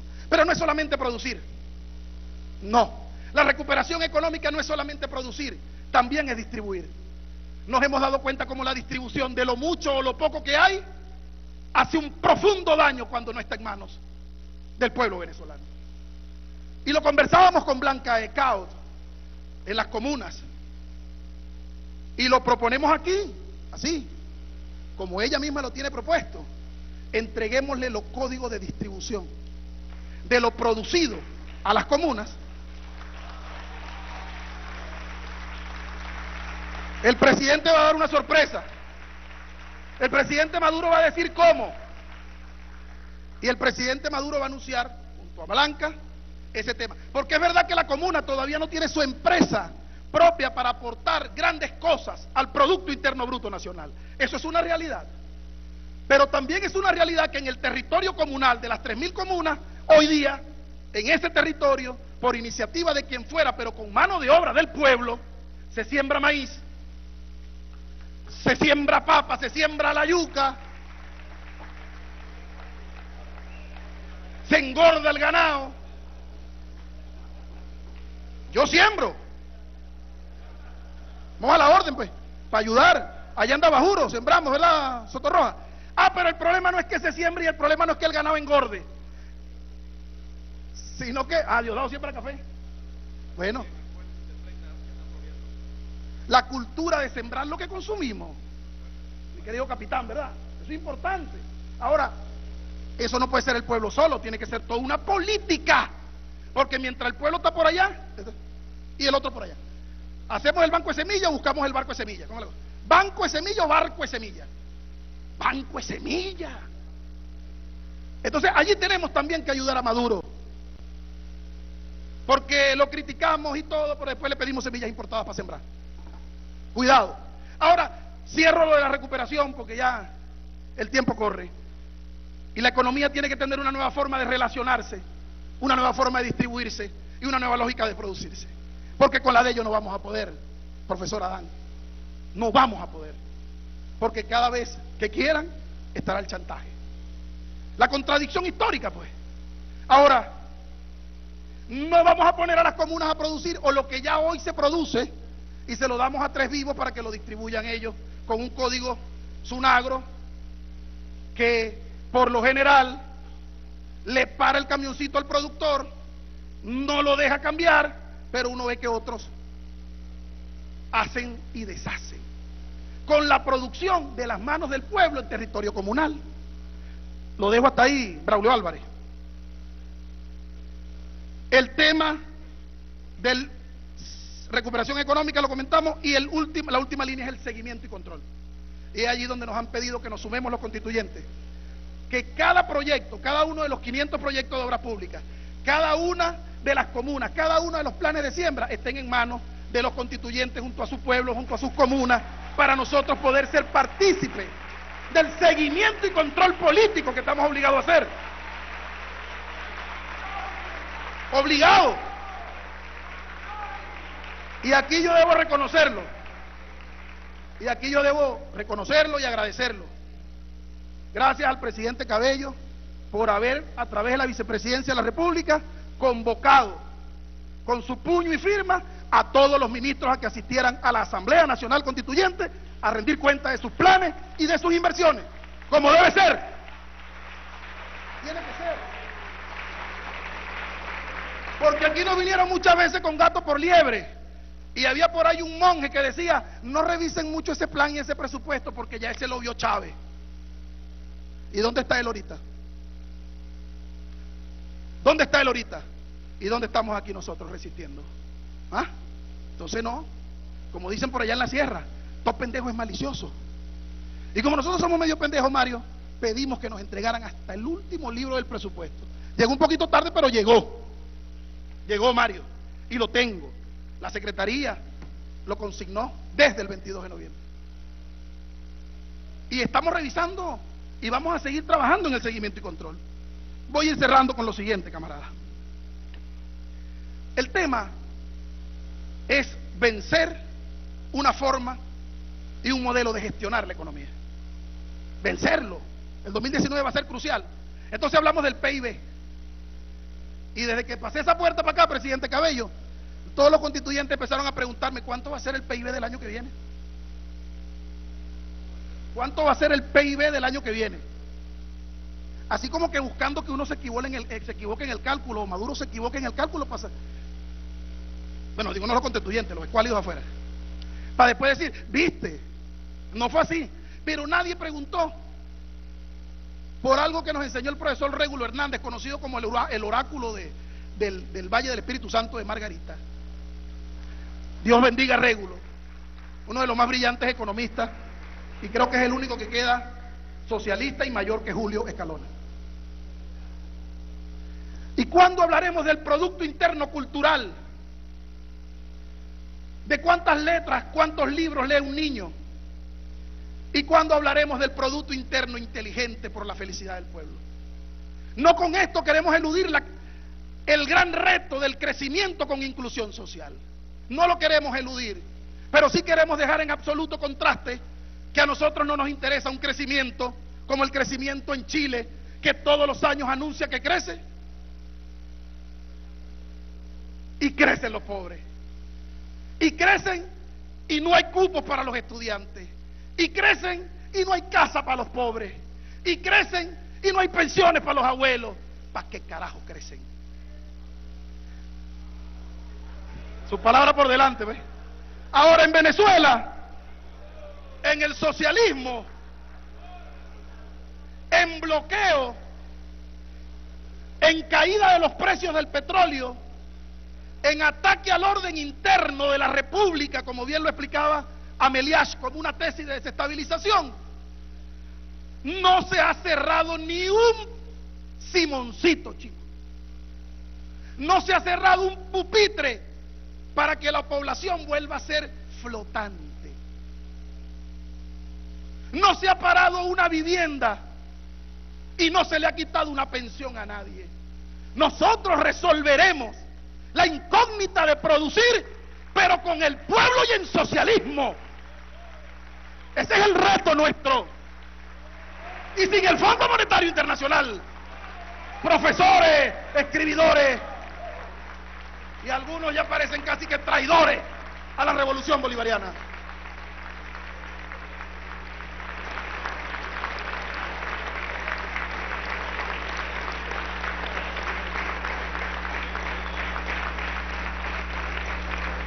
Como, aquí el agua la venden cara, ¿oye? Por lo menos a mí, pues. Gracias, Pedro. Como los que vienen son ampliamente mucho más estudiosos, más rigurosos y más académicos que yo. Yo voy a cerrar mi intervención porque viene el profesor Julio Escalona. Imagínense ustedes, tremenda responsabilidad. Diciendo lo siguiente. El bloqueo criminal. Aquí cualquier empresario privado, y lo hablamos en la Comisión de Economía, privado, empresario privado, deposita 500 mil dólares para que le manden una materia prima y no lo pagan. Le cierra la corresponsalía al banco si llega a pagar esa transferencia. Algo brutal, eso lo está viviendo también hasta, hasta el inefable Mendoza. Todos ellos lo están viviendo, pero no dicen nada. ¿no? no dicen nada. Eso es lo que estamos viviendo. Es una realidad. Tanto nos bloquean en todas partes que parece que hasta el Locotrón tuvo que ver con la, la muchacha esta mi universo, tuvo que ver con eso. Esa muchacha era un resplandor impresionante. ¿eh? Imagínate tú. Bloqueo por todos lados, multiforme, ¿no? Pero es, es reina para nosotros. ¿no? Hugo Chávez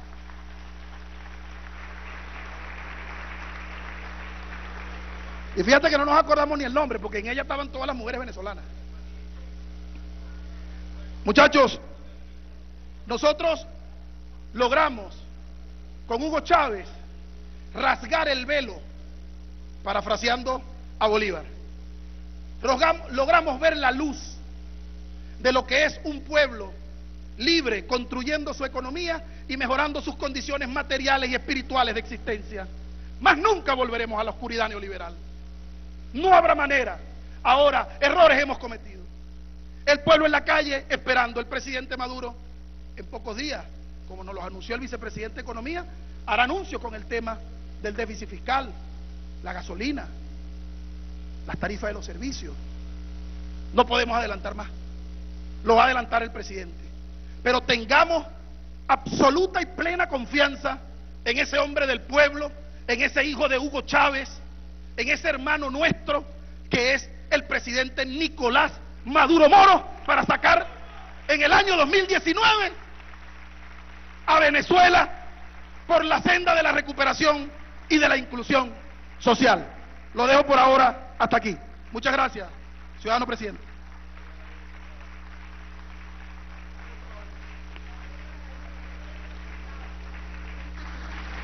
Gracias, compañero Andrés Eloy.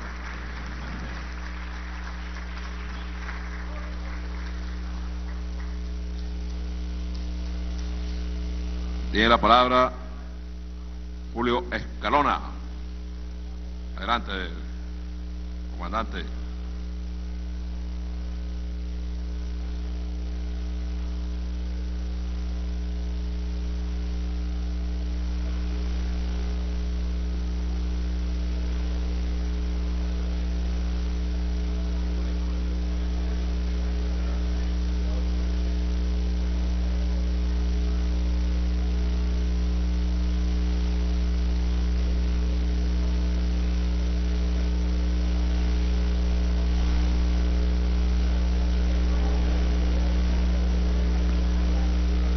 No solo petrolera, sino primaria. Escuchemos parte del, eh, de las declaraciones del constituyente.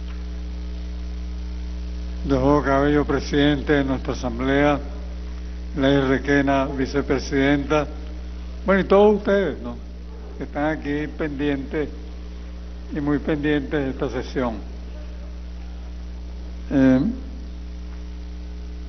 yo quiero darle las gracias a los vicepresidentes y ministros que nos acompañaron durante estos días. ¿no? Ahora, Diosdado dijo que debíamos decir lo que tenemos que decir, ¿no? Y yo voy a intentar hacer eso, ¿no? Es decir, los compañeros fueron, estuvieron con nosotros, nos entregaron documentos, ¿no? Y está bien, pero yo quiero complementar eso. Nosotros esperamos que se considere de verdad que esta Asamblea Nacional Constituyente, como suele decirse aquí, es soberanísima.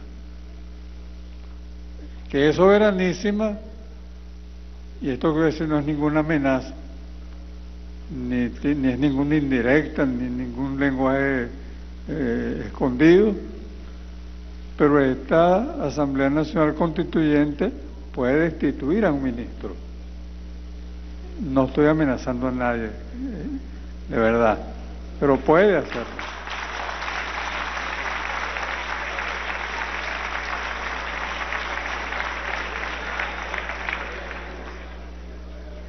Esta Asamblea Nacional Constituyente ha sido absolutamente disciplinada y no ha querido sobrepasar sus atribuciones y tomar atribuciones que son del Ejecutivo Nacional. Pero el problema es que la gente nos emplaza en la calle. Es decir, los que andamos en la calle, que somos casi todos nosotros, que no tenemos carro, que andamos en el metro, bueno, llegamos, llegamos casi al borde del insulto. Pues la gente está molesta con nosotros, porque considera que no estamos cumpliendo con nuestro trabajo. Y yo creo que se impone una revitalización de esta Asamblea Nacional Constituyente.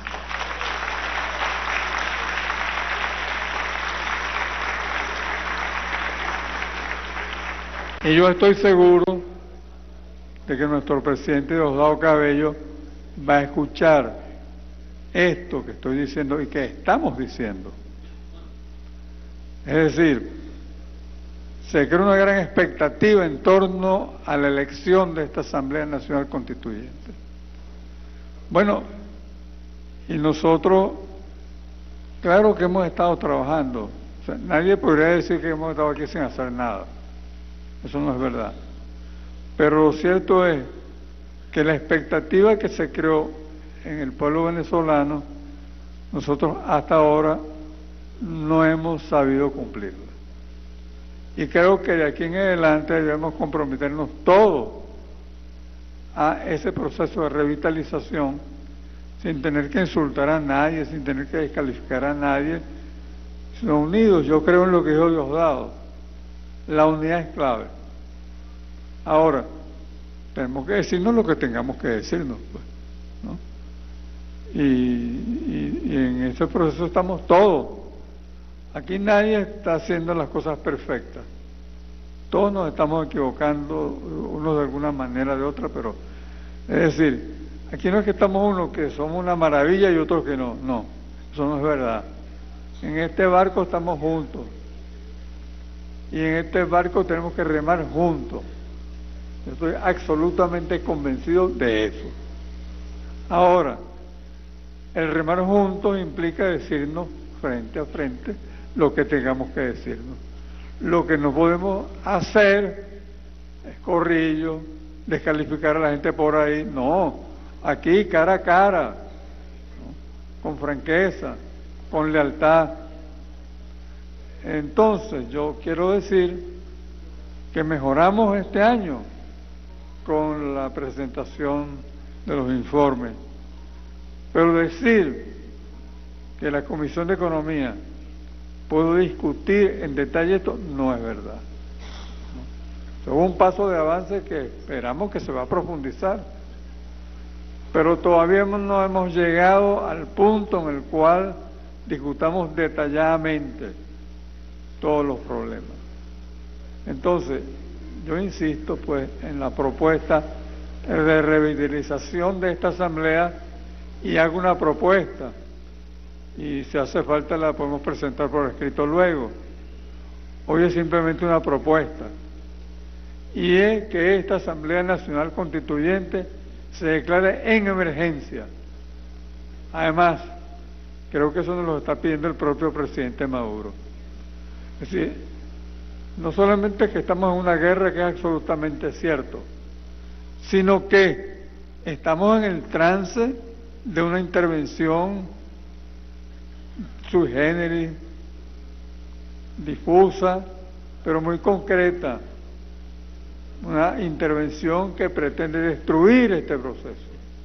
Entonces, esta Asamblea Nacional Constituyente tiene que declararse en emergencia para enfrentar ese llamado que nos ha hecho el presidente Maduro precisamente a la movilización popular, a la movilización de todos nosotros yo propongo formalmente que esta Asamblea Nacional se declare en emergencia para enfrentar la emergencia.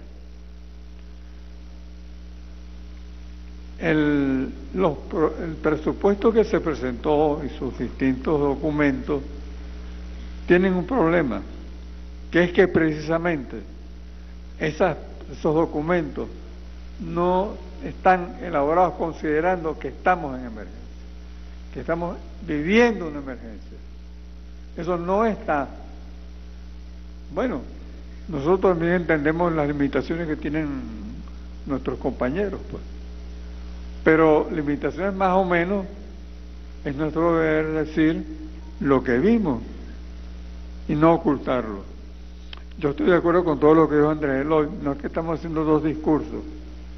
Lo que ha dicho Andrés Eloy es verdad. Y esto que yo estoy diciendo también es verdad. Es decir,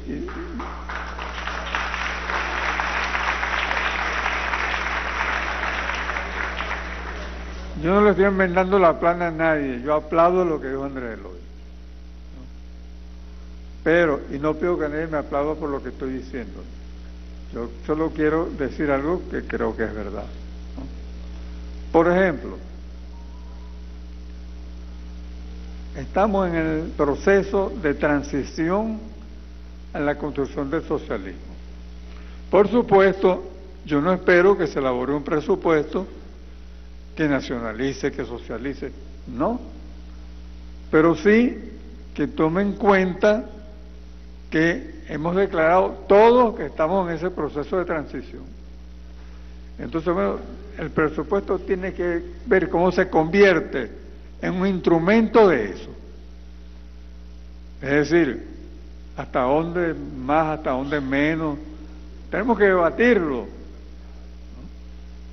Y no puede, y, el presupuesto no se puede elaborar sin tomar en cuenta ese hecho. Luego, como una nada. Bueno, el eje de este proceso y el objetivo hacia donde vamos es el Estado comunal. Bueno, entonces el presupuesto tiene que tocar eso. ¿Cómo se concreta en el presupuesto ese objetivo? En un pedacito, no importa, o en un pedazote. Ese es el problema a discutir, hasta dónde, hasta dónde, aquí, hasta dónde allá. Pero eso tiene que estar presente, ¿no? Entonces, el problema de, la comuna, creo que en eso estamos de acuerdo todos, ¿no? define hacia dónde va este proceso. Y sobre todo porque en algunos funcionarios públicos, esto lo puedo decir porque, porque nos lo han dicho directamente a nosotros, pues, a, la, a la comisión, un funcionario vinculado al Ministerio de Alimentación, y le preguntamos por qué desde los barcos la materia prima que llega importada, hago un paréntesis rápido, yo estoy con lo que dijo Andrés Eloy. Andrés Eloy dijo que no es que siga importando casi que la última semilla que se pretende sembrar. Pero si se importa, repito, tenemos que cambiar eso, pero si se importa, tiene que ser distribuida tomando en cuenta que hay comunas productivas que están produciendo o sea, es verdad que hay comunas que están produciendo. Entonces, mientras ese sea el modelo, el de traer semilla importada, insumos importados, bueno, no se puede distribuir solo a los grandes empresarios. No se puede entregar solo a los, a los grandes canales de distribución privada.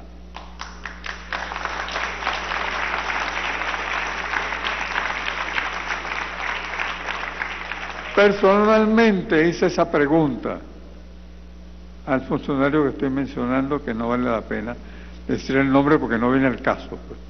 No un juicio personal.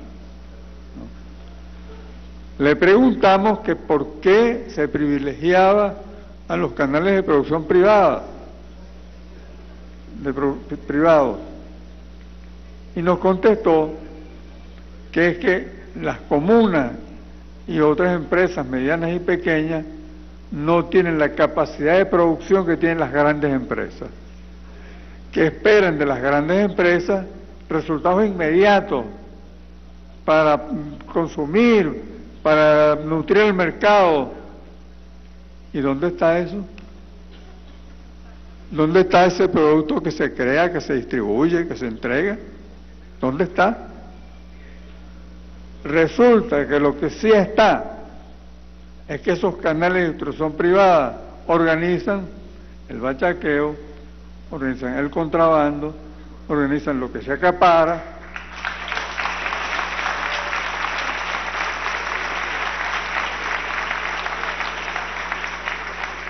Y, por supuesto, no alcanza para las comunas, no alcanza para los pequeños y medianos productores, no alcanza. Pero eso se sabe. Entonces, hay que desmontar eso. Yo he propuesto, y lo digo hoy aquí, que ese Ministerio de Alimentación debe desaparecer.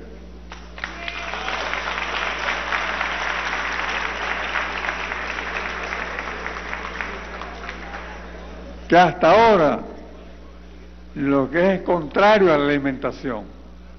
No podemos tener un ministerio que se llama de alimentación que de hecho conspira contra la alimentación.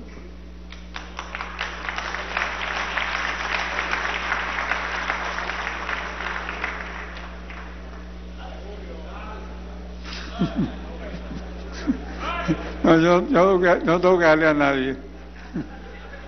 Ni dar de dar, ni de golpear. Otro problema, ¿no? Que no está tampoco en el presupuesto. Nosotros hablamos del rentismo y del posrentismo. ¿Qué es eso? ¿Cómo se expresa? No está. Eso tenemos que debatirlo. Tenemos que debatir, bueno, qué es la renta, pues, cómo es que es eso del rentismo, ¿no? ¿Cómo es que eso que se llama rentismo tiene que ver con que el señor Escotés de Banesco y el señor Mendoza de Polar, la revista Forbes, la revista Forbes los que están en la lista de los mil millonarios del mundo. Y están, tienen un ranking ahí, pues. ¿De dónde sacaron eso? De la agricultura. Si ellos no siembran, en Polar no siembran una mazorca de maíz, ¿no? ¿De dónde lo sacaron? De la renta petrolera. Y todavía hoy se sigue haciendo transferencia de ingresos petroleros a empresarios privados. No aparece explícito en el presupuesto, pero debería aparecer porque si alguien sigue creyendo que eso es valioso, debe asumir responsabilidad por eso. En todo caso, nosotros tenemos el derecho a exigirla, porque no tiene ningún sentido que todavía hoy se transfieran dólares a empresarios privados. Casi, tenemos pocos dólares, ¿verdad? ¿Y por qué se los vamos a entregar a una gente que con eso lo que ha hecho es enriquecerse? ¿Dónde está la producción que ellos entregan? ¿Dónde está? Porque con todos los dólares que han recibido históricamente y los que siguen recibiendo todavía, debemos estar súper abastecidos. Y no es así. ¿Y por qué no es así? Porque ellos lo que quieren es tumbar el gobierno.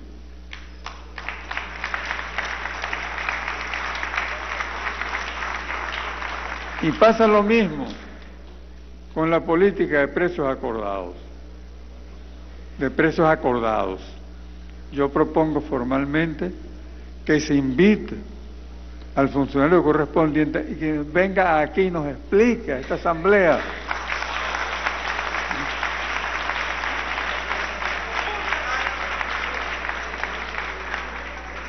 ¿Por qué se insiste en la política de precios acordados? Esa política viene fracasando. Pero se insiste en esa política. ¿Por qué? quisiéramos tener un diálogo, un diálogo fraterno, no es para pelear, ¿no? pero para conversar sobre eso, pues.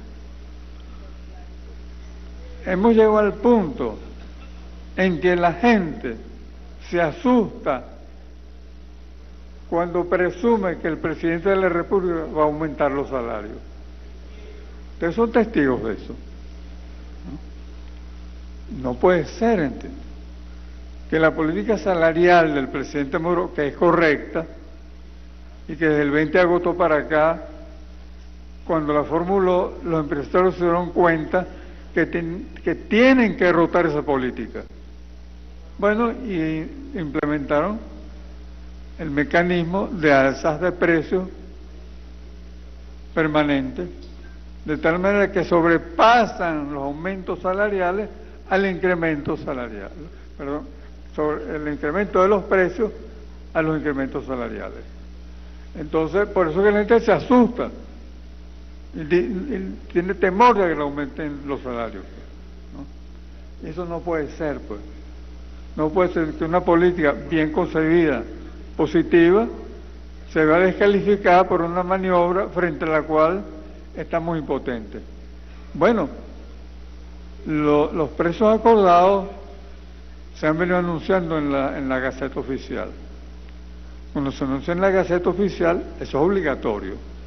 Entonces debería aparecer, si se, sigue, si se quiere seguir insistiendo en eso, entonces debería aparecer al lado las sanciones correspondientes a quien lo viole.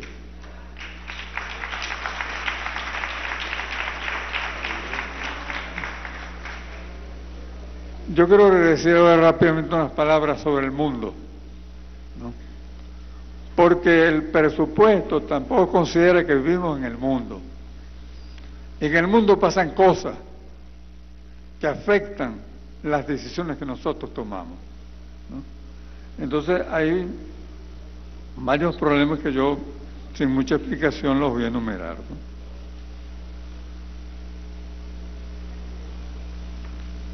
En el mundo está muy determinado, sigue estando muy determinado por el petróleo. Nosotros en el próximo periodo tenemos la presidencia de la OPEC, que es algo muy importante. Ahora, ¿qué es lo que está pasando en el mundo del petróleo? Hay un problema que tiene Estados Unidos. Estados Unidos necesita precios altos, porque para mantener el fracking, ellos necesitan un precio que cubra los costos de producción del fracking que son altos, ¿no? están por lo menos por los 60, 60 y pico de dólares. Entonces necesitan un precio que esté por ahí, pero el consumidor de Estados Unidos necesita precios de la gasolina bajos. Ya vieron lo que le pasó a Macron por subir los precios, por, colocarle impuestos al consumo de petróleo. Entonces, el presidente Trump está en ese conflicto entre precios altos y precios bajos. Y entonces necesita que Rusia lo ayude. Hay la rusofobia, todo ese lío. Pero el presidente Trump sabe que tiene que buscar un acuerdo con Rusia. Miren, eso es tan importante mencionarlo, porque podría ocurrir, yo no he investigado todavía suficientemente eso, que parte de que no se da la, la, operación contra Venezuela es porque eso está metido en la negociación, pues. Eso están siendo negociados. Y por eso el presidente Maduro, que, que es bien pila, se fue a Moscú y vinieron los aviones para acá. ¿no? Bueno, porque ahí hay una negociación sobre eso también. ¿no? Pero lo que quiero decir es que hay problemas como estos que en el presupuesto, yo una vez dije, en la, creo que lo dije en la Comisión de Economía, que el presupuesto debería tener una exposición de motivos donde establece los fundamentos en los cuales se apoya el presupuesto de qué realidad nacional mundial parte para proponer lo que propone. Porque eso nos permite precisamente, no te preocupes, Fidel, ya yo voy a terminar. Bueno, pero hay cosas que hay que decir. Yo no pedí que nadie se limitara en su tiempo cuando fundamentó proposiciones. Entonces, nos vamos a limitar el tiempo. Cuando estamos planteando problemas concretos que nos importan, que nos afectan, eso sí tiene tiempo. ¿no? Y yo no es que...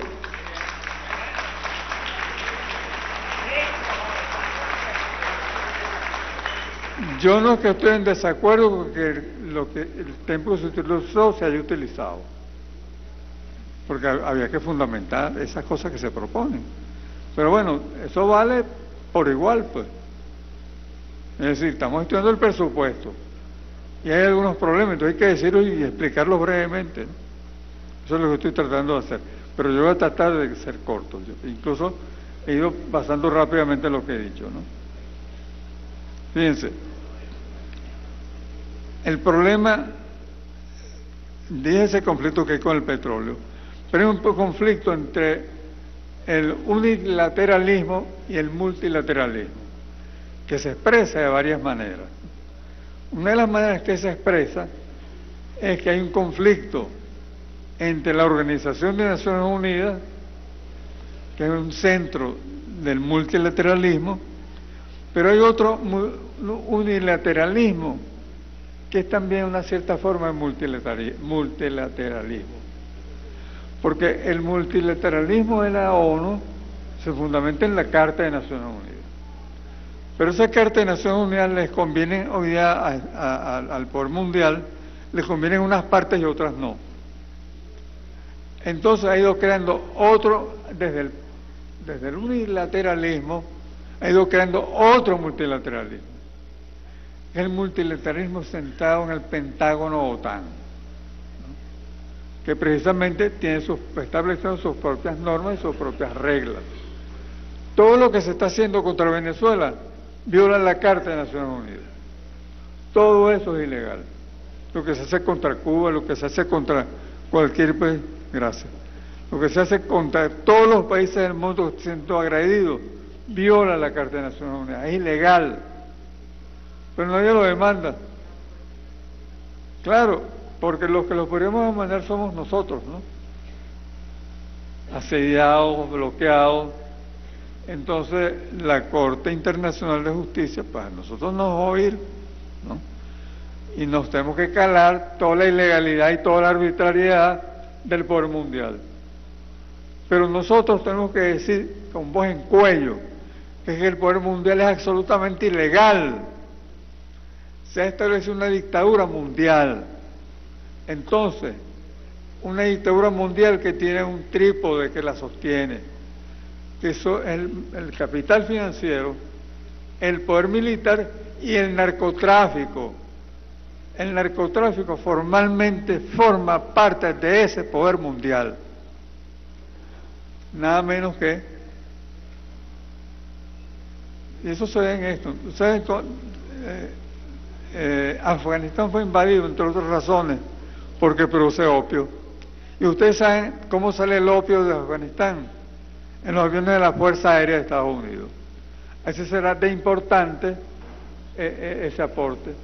Pero la crisis financiera de 2008 se resolvió, bueno, hay lo que sabemos, lo que apareció públicamente, ¿no? Los estados transfirieron importantes masas de capital. Pero un capital que se transfirió que no aparece. Y es que a través de los paraísos fiscales se legaliza el capital del narcotráfico y de ahí va a los bancos y de ahí se salvó la crisis. Así se enfrentó la crisis de 2008. Entonces, claro, el problema es que eh, eh, esto, en fin de cuentas, esto es parte del poder mundial. Ese poder mundial es uno de los que está actuando contra Venezuela. Y no me extiendo más en eso.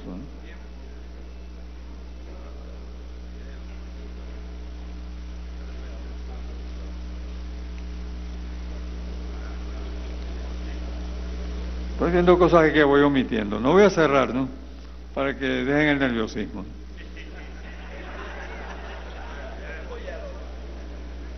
No, ya no hay a quien puyar.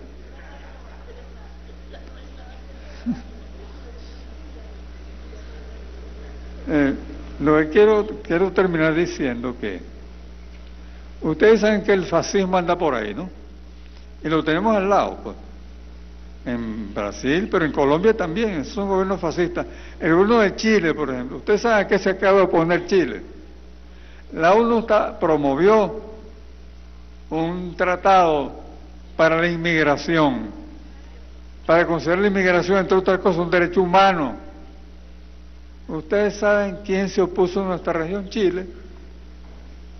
A eso que, eh, eh, es gracioso porque en la televisión aparece Alemania, Alemania, criticando a Chile. ¿Cómo será el descrédito de un país como ese que entonces hasta un gobierno como el gobierno alemán se obligaba a atacarlo? ¿no? Entonces, el fascismo es un enemigo que nos amenaza a nosotros también. Y lo voy a decir de esta manera para terminar.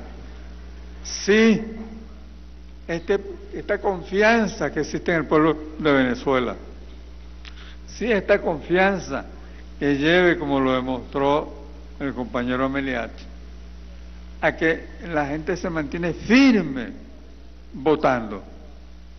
Un compañero de Maracaibo me contó ahora que vino por acá que una que casi no llega a CLAC, que casi no llega a CLAC, salió en fila a votar.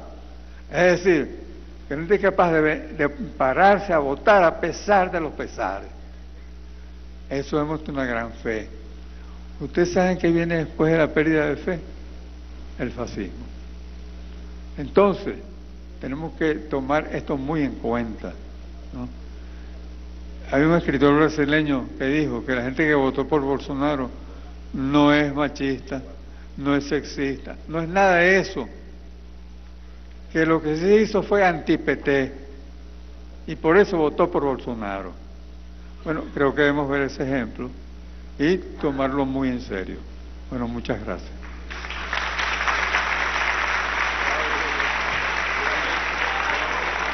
Escuchaban palabras del constituyente Julio Escalona, quien en líneas generales concretaba la participación de, eh, exhortaba a la Asamblea Nacional Constituyente a concretar la participación de las comunas en este presupuesto anual de la Nación, así como también reiteraba que uno de los puntos... Gracias, compañero Julio A incluir, vamos a escuchar.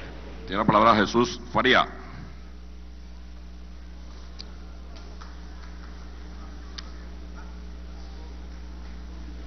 Petrolera para el que se viene realizando en el subsidio a los empresarios privados.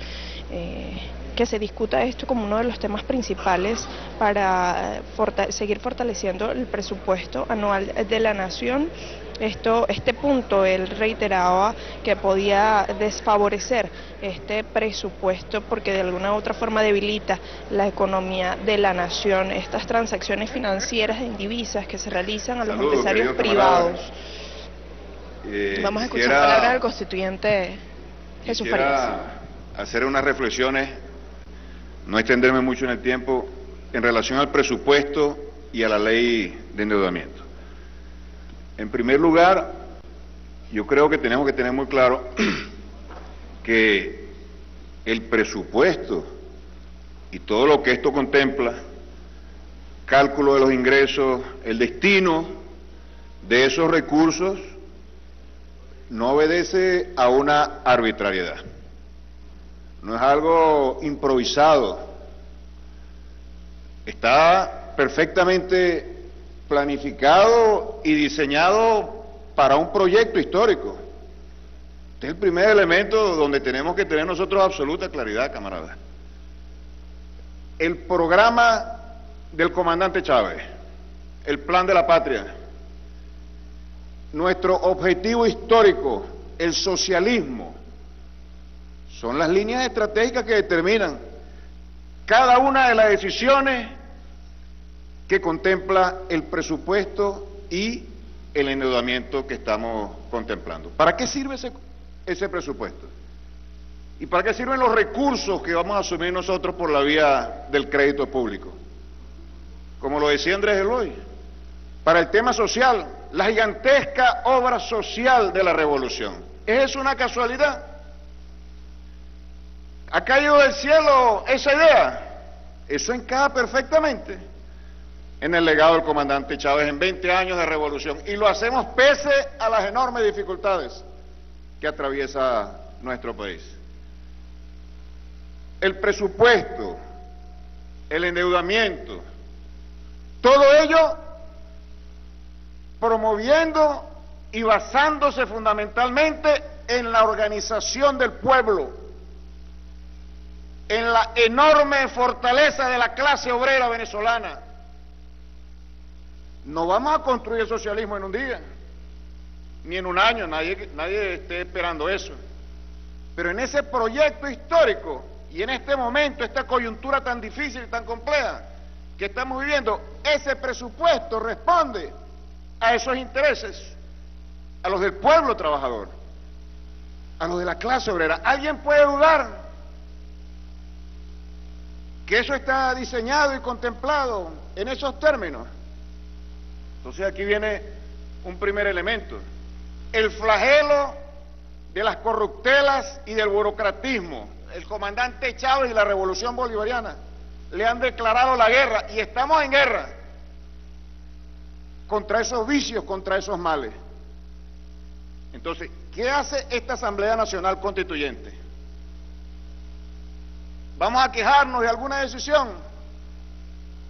vamos a protestar porque algún funcionario haya dicho algo, haya tomado alguna decisión, no haya compartido algo con sus electores o con el pueblo. No, esa no es la queja, es la acción revolucionaria. Como nosotros, como constituyentes, no es que asumimos la tarea de control político y administrativo, como lo debe ser una Asamblea Nacional. Y por cierto hay que decirlo, nosotros estamos discutiendo esto hoy porque no tenemos Asamblea Nacional. No solamente está en desacato, sino que ha desaparecido el mapa político. Está en absoluto descrédito, incluso dentro de los electores de la oposición. Se ha convertido en el instrumento fundamental del servilismo, de los pitillanquis tienen nada que ver con Venezuela. Esa Asamblea Nacional Constituyente tiene que asumir esta función. Pero no somos nosotros. La tarea nuestra es desplegar al pueblo para que el pueblo sirva de contralor. Y no solamente de contralor, sino que garantice la implementación de cada uno de los recursos, la inversión de los recursos que se han venido generando con tanto esfuerzo y pese a tantas dificultades. Esa es la tarea nuestra. Creo que esa sería una tarea donde podríamos avanzar en términos de revolución muchísimo más que con cualquier queja que podamos manifestar en relación a algún error, alguna desviación que se haya podido cometer, que sin lugar a dudas existen. Y nosotros autocríticamente tenemos que vernos y tenemos que revisarnos. Eso también es válido. Pero la actuación Vale mucho más que cualquier palabra y cualquier autocrítica. La actuación revolucionaria. Entonces, fíjense la enorme diferencia que hay entre un gobierno chavista, dirigido por el presidente Nicolás Maduro, inspirado en Chávez, en Bolívar, con un presupuesto que está sustentado en la soberanía. ¿No vamos a valorar eso? ¿Quién diseña el presupuesto? El Fondo Monetario Internacional, como ocurría en el pasado, el Fondo Monetario establecía los parámetros, los funcionarios venezolanos diseñaban algunos planes y lo iban a consultar y validar en Washington o cuando venían los técnicos del Fondo Monetario Internacional. Aquí mandaba el Fondo Monetario Internacional. Y lo hacía, entre otras cosas, a través del presupuesto que, constituye uno de los instrumentos más poderosos para la planificación y para el desarrollo de las políticas públicas. Este presupuesto responde a la tarea social, al compromiso social, al desarrollo de la democracia, a la participación del pueblo y sobre todo a los grandes intereses del país. No estamos haciendo presupuestos para privatizar, para recortar la inversión social, para entregar las empresas y nuestras riquezas naturales a las compañías transnacionales, para endeudarnos con el Fondo Monetario Internacional e hipotecar el futuro del país. No es el caso, camarada. No es el caso. No vamos a valorar eso. ¿Hay o no hay una diferencia gigantesca entre este presupuesto que no obedece a las leyes del socialismo, pero lo está desarrollando una fuerza profundamente socialista. Y, por otra parte, lo que teníamos nosotros en el pasado. Y que, por cierto, es lo que propone la derecha de la manera más descarada. Pactar con el Fondo Monetario Internacional para aplicarnos a nosotros el paquete. Y una de las tareas fundamentales que le impone el Fondo Monetario a cualquier nación que pacta con él es el recorte el desmantelamiento del Estado, fundamentalmente en el tema social, y la entrega de la soberanía. Entonces, este presupuesto tiene una enorme importancia para la revolución bolivariana. Ya lo decía el camarada Andrés Eloy. El año 2019 será un año crucial. Hemos podido transitar 2016, 2017 en medio de una terrible tempestad, turbulencias gigantescas que hemos podido superar con el apoyo del pueblo, en la calle, en la lucha, en la pelea, en las elecciones, la unión cívico-militar, con ese acto extraordinario, lleno de energía, que realizamos nosotros ayer con los milicianos. Hemos podido superar todo eso. Ahora, el año 2019 tenemos dos tareas fundamentales. Garantizar la paz del país, la soberanía, la tranquilidad, para poder ocuparnos nosotros del tema económico, sin ningún tipo de desviaciones, sin ningún tipo de distracciones y sobre todo sin ningún tipo de sabotajes. El imperialismo sabe perfectamente que no nos puede doblegar por la vía política, militar, el diversionismo ideológico, todas las armas que han enfocado en contra del pueblo venezolano, por la vía de la economía, que nos han hecho más daño y que nos pueden seguir haciendo daño. Pues bien, entonces nosotros tenemos la enorme responsabilidad. Este presupuesto que es parte no solamente del concepto estratégico, el programa de la patria, el plan de la patria, el legado ideológico del comandante Chávez, sino que también es parte de una política económica que el presidente Nicolás Maduro ha denominado el plan económico integral para la estabilidad económica, valga la redundancia, la recuperación productiva. No está aislado, es parte de eso. Pese a las dificultades, aquí hay inversión productiva. Pese a las dificultades, aquí hay una gigantesca inversión social que sirve no solamente para el pueblo, sino para recuperar y oxigenar a la economía, para generar empleo, para generar ingresos la defensa del país que requiere, exige una fortaleza fundamental. Por cierto, dentro de la geopolítica, dentro de este mundo multipolar, en el que sin lugar a dudas nosotros nos encontramos, tenemos aliados muy bien definidos, camaradas, no dudemos absolutamente ningún segundo. Han dado pruebas fehacientes al respecto. Y agradecemos todo el apoyo que nos brindan, potencia, sin injerencia, sin interferir en nuestros asuntos internos, como es el caso de Rusia, como es el caso de China, aliados fundamentales en lo militar, en lo político, y por supuesto también serán aliados fundamentales en lo económico. Nosotros tenemos la tarea de recuperar la economía y el presupuesto sirve para ello. Y para hacer en esta coyuntura, y con esto voy terminando, camarada eh, para ser nosotros menos vulnerables frente a lo que ocurre en el mundo y lo que ocurre en esta compleja dinámica económica nacional, tenemos que fortalecer el frente productivo, ser cada vez más productivo. ¿Cómo lo vamos a hacer? Con los actores políticos, con los actores económicos, nacionales, internacionales que estén dispuestos, sin complejo, a venir a trabajar. Y no son pocos. Tenemos aliados privados en el ámbito internacional petrolero, trabajando desde Chávez en el sector petrolero. Vamos a ver la espalda, porque son capitalistas en lo nacional hay empresarios de una de un sector empresarial nacionalista, no son chavistas ni socialistas, pero creen en el desarrollo del país. Vamos a darle la espalda. Y sobre todo con la clase obrera, esa extraordinaria fuerza social y política que garantiza que no haya ninguna desviación en ese tránsito histórico en largo plazo que es el socialismo. Pero ahora lo fundamental es producir.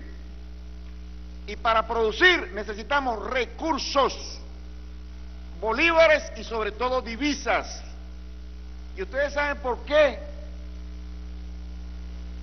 el presidente norteamericano Donald Trump diseñó las sanciones económicas contra Venezuela en la manera como las está aplicando, de manera ilegal, de manera infame, de manera criminal, pero también de manera perfectamente planificada para golpear al país en el punto más álgido de toda su coyuntura, el déficit de divisa es lo fundamental. El déficit de divisa. Con divisas podemos recuperar la producción, producir alimentos, producir manufactura.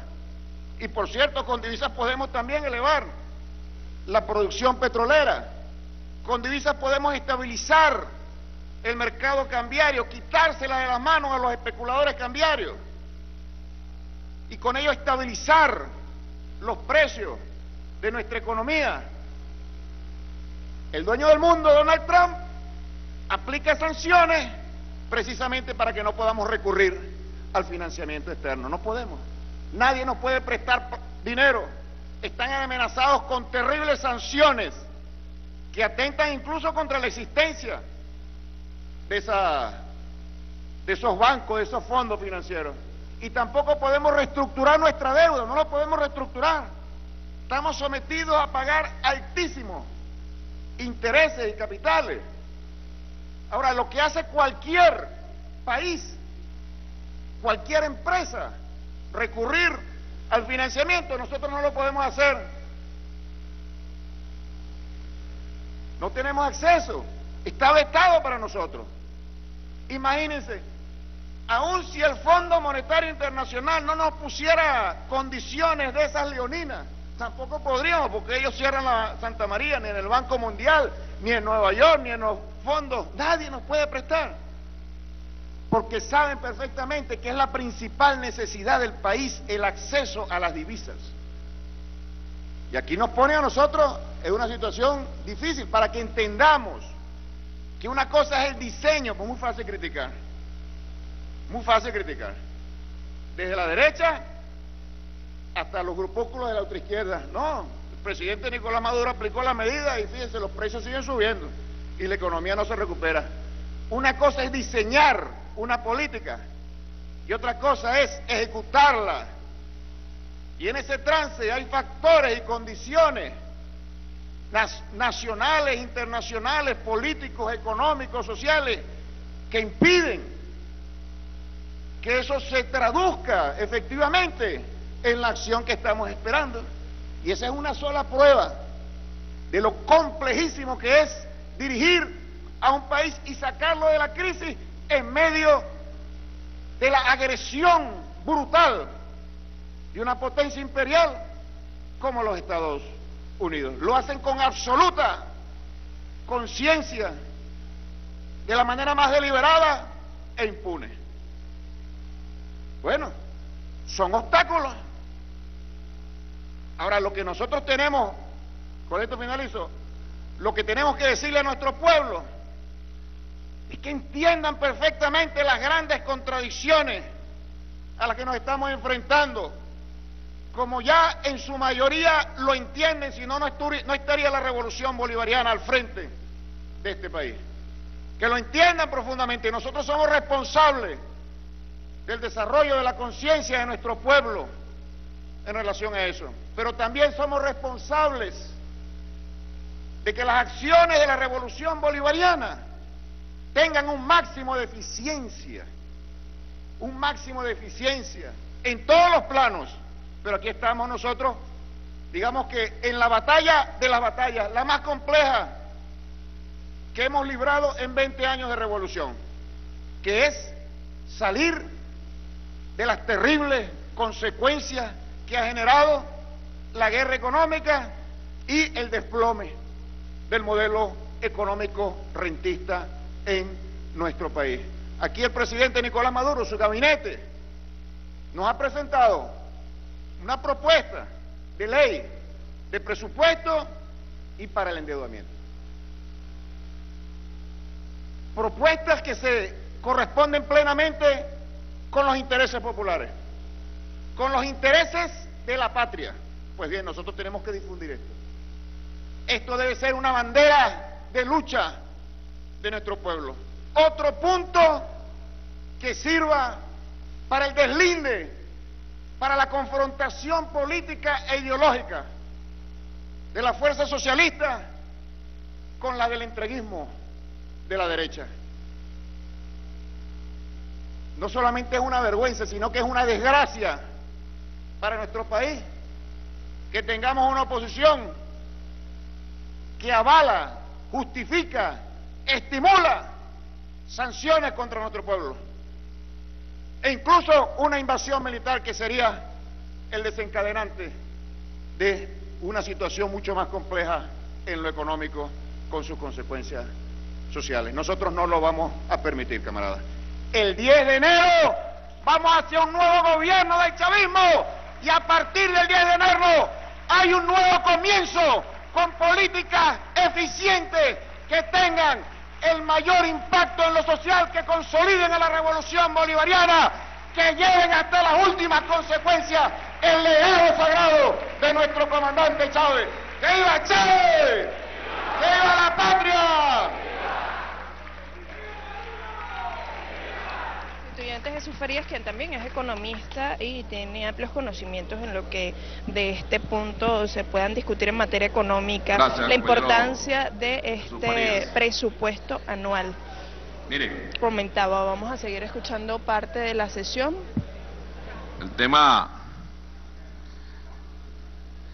el tema del presupuesto, por supuesto que va a generar debates, preguntas, nosotros creo que hicimos lo correcto, invitando a, aquí a la comisión, a la Asamblea Nacional Constituyente y a la comisión de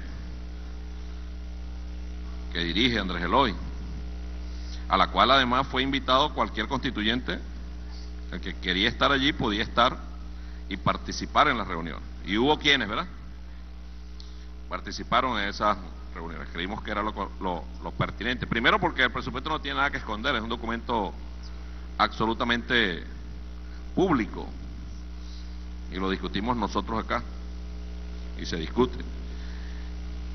Una de las cosas que nosotros debemos celebrar es que ese presupuesto no lo está haciendo el Fondo Monetario Internacional, ni lo está haciendo el Banco Mundial, ni lo está haciendo ningún gobierno extranjero que nos esté imponiendo a nosotros un presupuesto.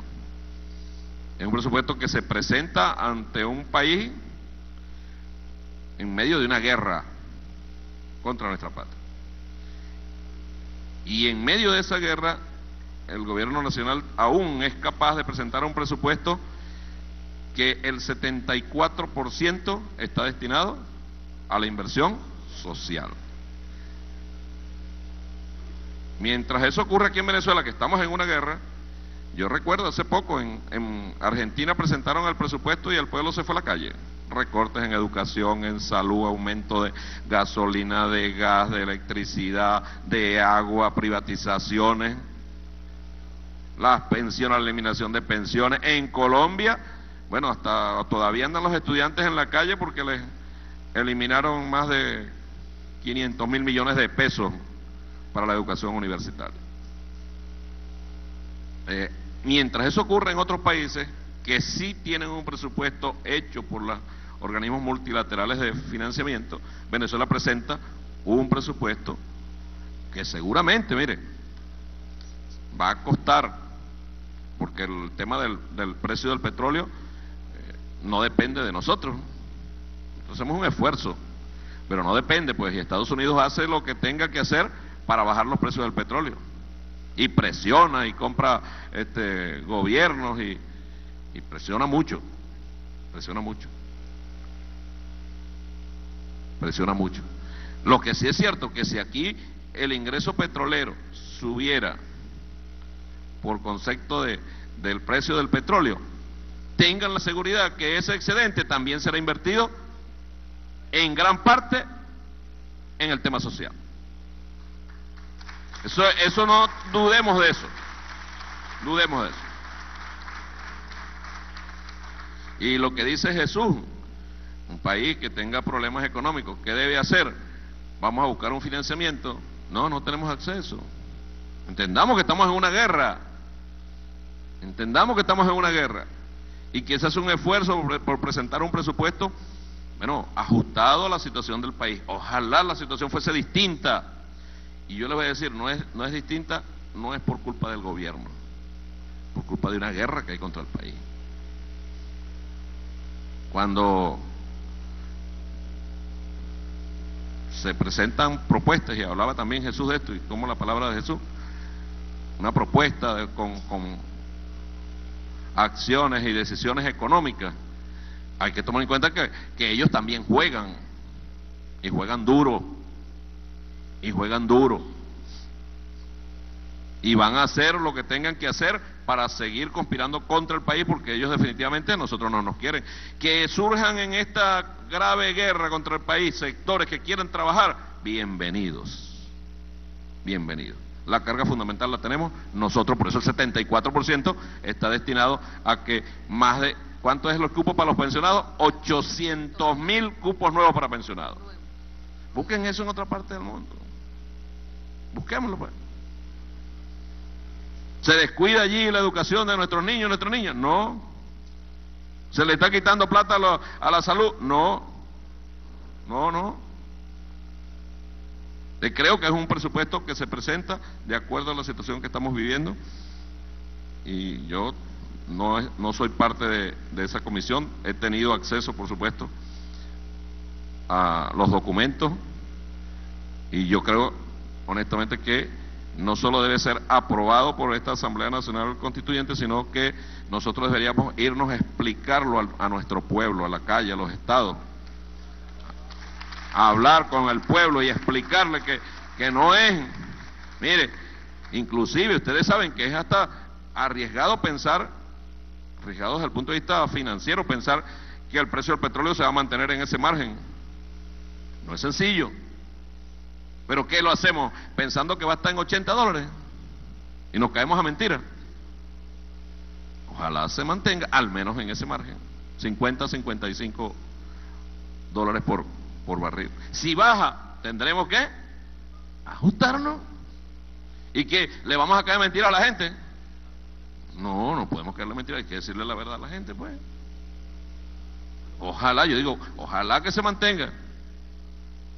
Pero, pero Estados Unidos está haciendo todo lo que tiene que hacer para que baje aún más.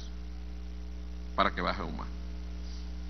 Entonces, preparémonos nosotros primero para, para salir a, junto a nuestro pueblo a, defender, eh, un, además un instrumento, yo repito, si esto, si aquí estuviera gobernando un gobierno de, de la derecha, la Cuarta República, el presupuesto ni se pareciera en ninguna parte. Contemplaran muchos millones en privatizaciones que jamás llegarían al pueblo. Sabemos la historia de las privatizaciones aquí en Venezuela. Entonces, señor secretario, ¿tiene un decreto ahí que tiene que leer? Por favor.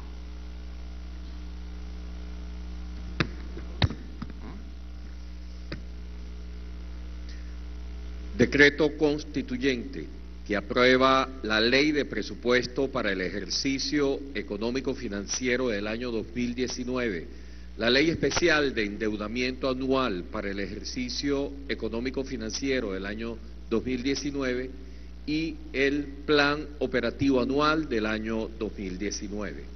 La Asamblea Nacional Constituyente, en ejercicio de las facultades previstas en los artículos 347, 348 y 349 de la Constitución de la República Bolivariana de Venezuela, conforme al mandato otorgado el 30 de julio de 2017 en elecciones democráticas, libres, universales, directas y secretas por el pueblo venezolano como depositario del poder originario.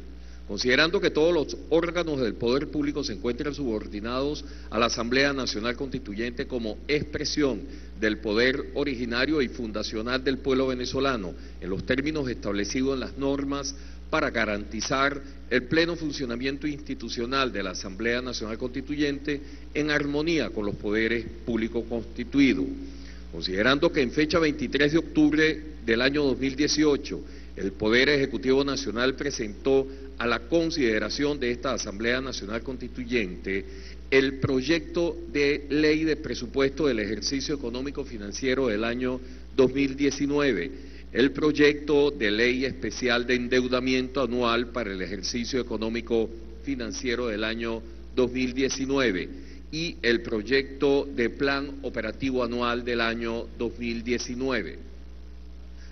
Considerando que la aprobación de la Ley de Presupuesto para el Ejercicio Económico Financiero del año 2019, la Ley Especial de Endeudamiento Anual para el Ejercicio Económico Financiero del año 2019 y el Plan Operativo Anual del año 2019 resulta imprescindible para garantizar el desarrollo económico y social de la nación, la gobernabilidad para la administración económica y financiera del Estado, el bienestar del pueblo venezolano y el disfrute de sus derechos fundamentales.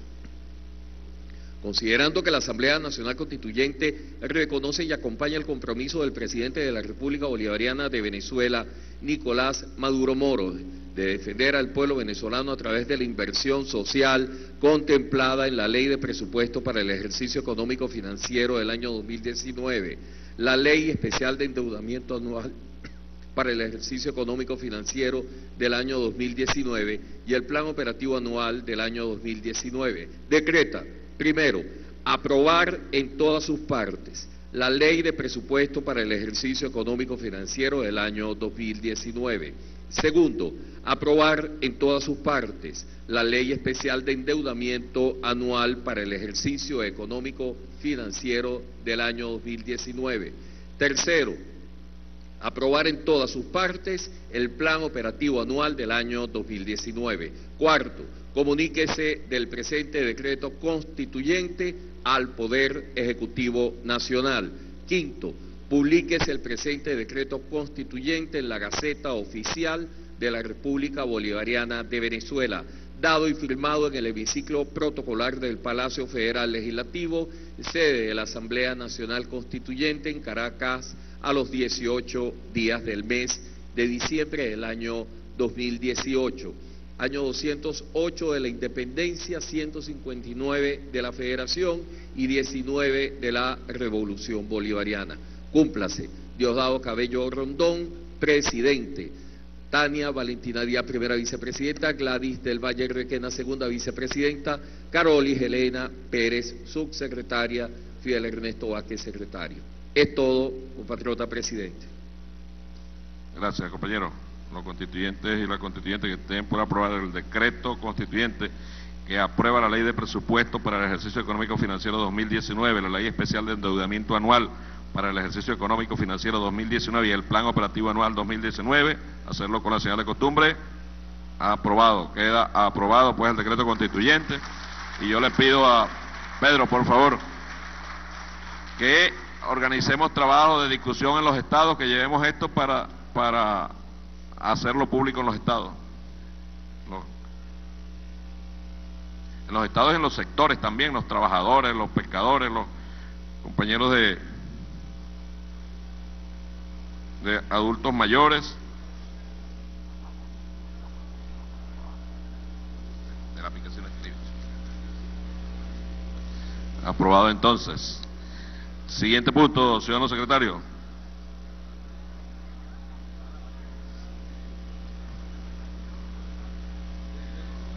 Decreto constituyente mediante el cual se aprueba el presupuesto de ingresos y gastos del Banco Central de Venezuela para el ejercicio económico financiero del año 2019. Es todo, presidente. Gracias, compañero secretario. Tiene la palabra el constituyente Busi Galeano.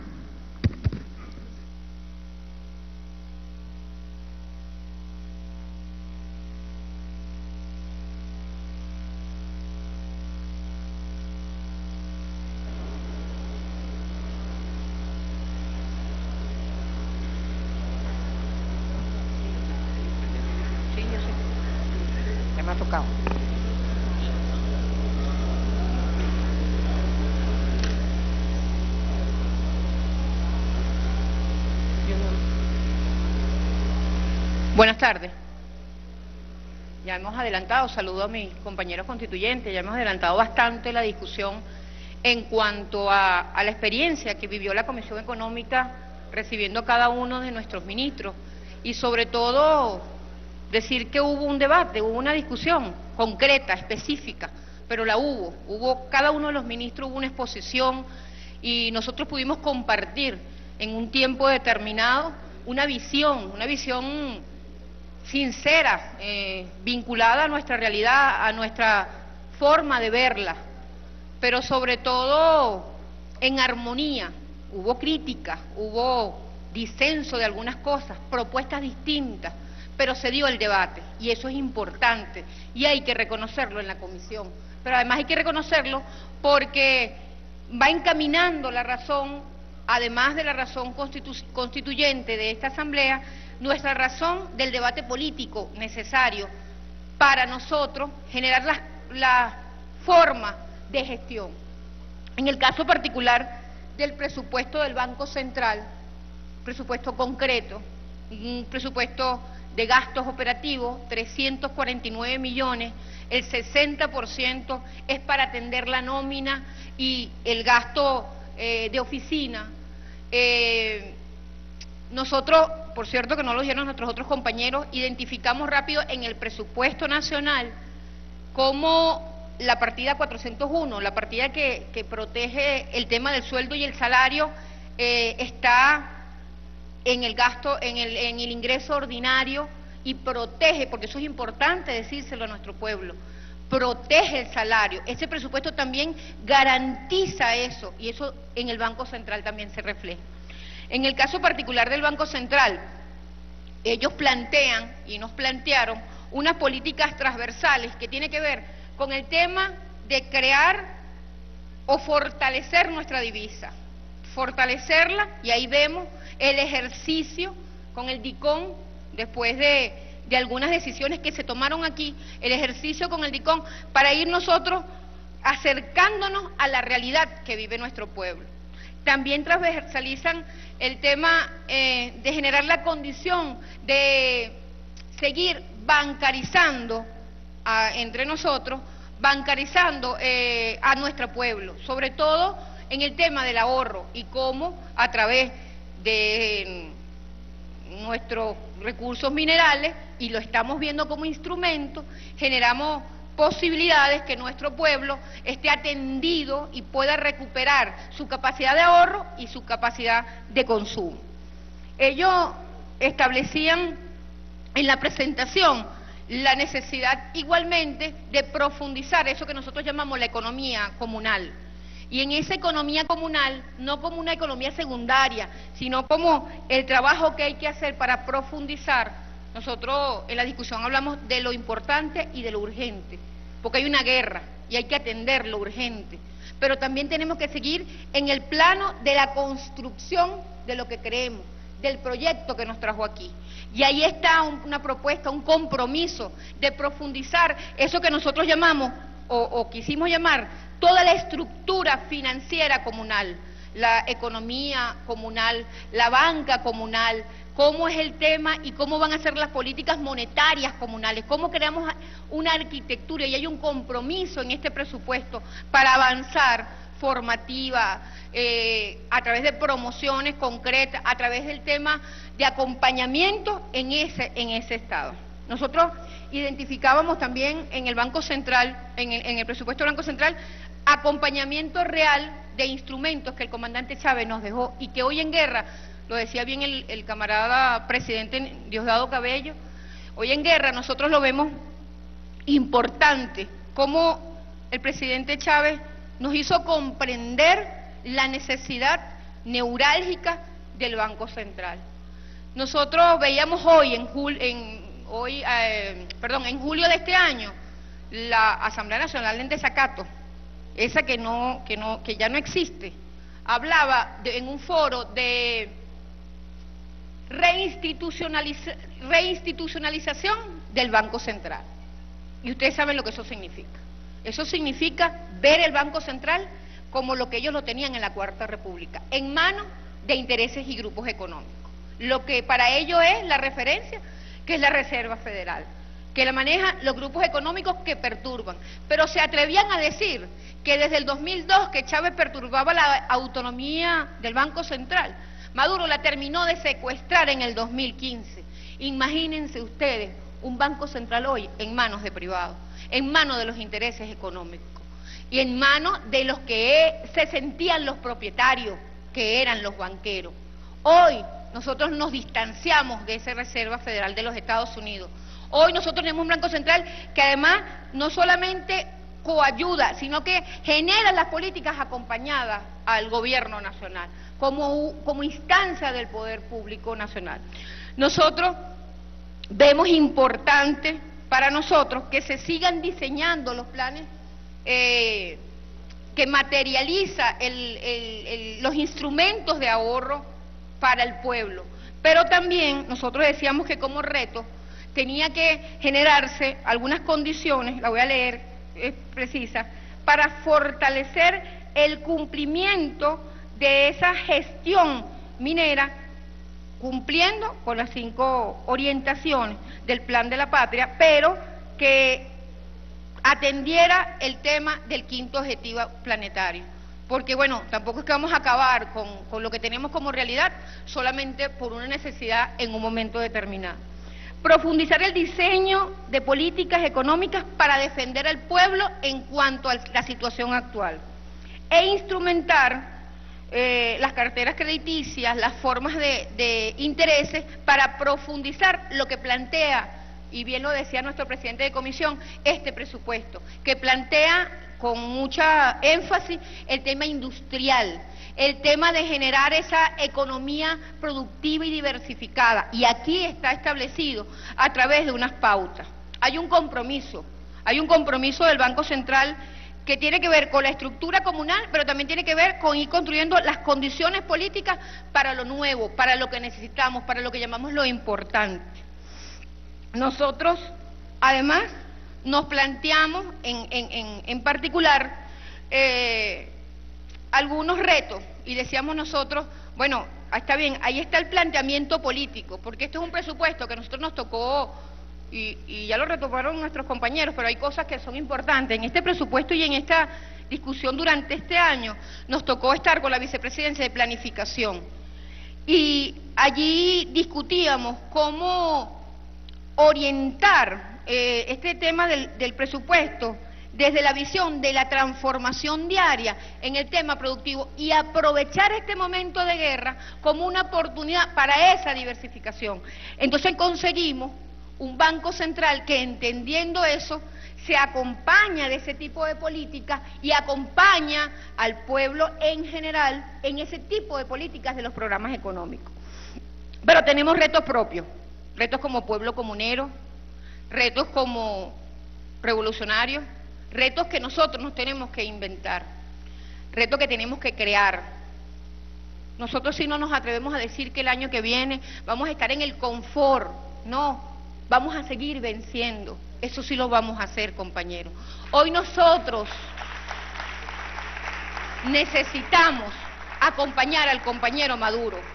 Y como lo decía el presidente Diosdado Cabello, y ahí quiero hablar con, con las mujeres, la madre, la hija, la hermana, la abuela, el compañero, el hijo, los camaradas que aquí estamos, pero también con ese pueblo que nos ve.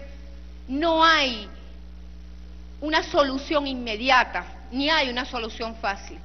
Pero de este lado está la verdad y estamos del lado correcto de la historia. Y eso hay que entenderlo. Aquí hay un presupuesto y hay todas unas consideraciones que plantea la soberanía concreta, hermanos, en cuanto a salir, en, por ejemplo, del tema de los créditos. Aquí se plantea, compañeros, generar condiciones para ir transformando esta, esta guerra en una oportunidad que nos unifique como pueblo. Además, creemos que no solamente es la confianza en el, en el líder, que no solamente es la unidad del pueblo, que también se entienda la voz de mando, porque a veces nos dejamos perturbar. Chávez nos dijo muchas veces, yo soy un infiltrado en Miraflores, nosotros somos infiltrados en todas partes, pero nosotros nos tenemos que ver en el eslabón del mundo, porque a veces perdemos la perspectiva, porque no nos entendemos que este presupuesto, que esta nueva arquitectura, y dicen por ahí la arquitectura que plantea algo distinto, es una referencia mundial. Y que podemos ser críticos y que tenemos que ir contra toda esa estructura que, que burocratiza en los planos que sea esta revolución, pero que tenemos que estar de este lado. Y hoy le pedimos a los constituyentes que nos acompañen en aprobar este presupuesto, que nos acompañen en aprobar este, este gasto del Banco Central o el presupuesto que ya aprobamos, pero que nos acompañen en esa avanzada de ir a decirle al pueblo que este es el presupuesto que lo protege, que es el presupuesto que no solamente es para lo reivindicativo, también es para transformarnos como hombres y mujeres en los valores. Yo me permito en una referencia, para nosotros la referencia del libro azul va más allá que un partido, porque es un programa, es el presupuesto que sí hay que decirle a la derecha, a esos desacatados, a esos que Guzmán y Guerra, que montaron un foro para que el Banco Central vuelva a ser privado, a esos hay que decirle que sí, el Banco Central está subordinado, está subordinado a un proyecto país, está subordinado a las decisiones de un pueblo. Y así va a seguir subordinado. En el libro rojo, que va más allá de un partido, porque es un proyecto, dice algo así, vamos a ver, porque no subí con los lentes, y a veces pega la edad. Sí. La fuerza motriz o sujeto de la revolución bolivariana son los trabajadores y las trabajadoras, en su doble condición de creadores de las riquezas y expropiados del fruto de su trabajo.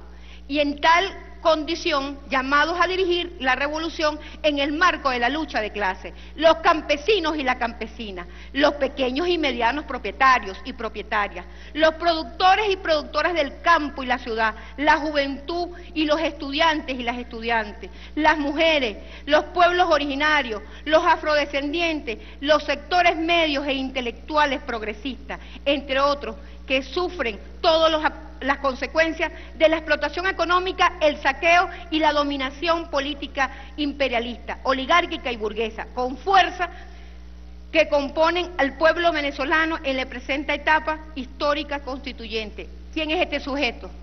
Es el comunero y la comunera. Este es el sujeto que nosotros tenemos que categorizar en esta revolución. Y es ese el sujeto que nosotros lo convertimos en el actor político, lo liberamos y permitimos que en esta oportunidad que nos están dando con esta guerra sigamos siendo la referencia del mundo. No perdamos nuestros lugares planetarios, no perdamos la visión del eslabón lo que somos. Hay un presupuesto de un banco central, un banco central soberano que responde a un pueblo, que responde a esta categoría del comunero y la comunera, que responde a los intereses necesarios de este pueblo. 349 millones de bolívares de gasto. Pero no solamente es eso, es lo que significa para nosotros las políticas que el Banco Central hoy nos plantea. Gracias, compañeros.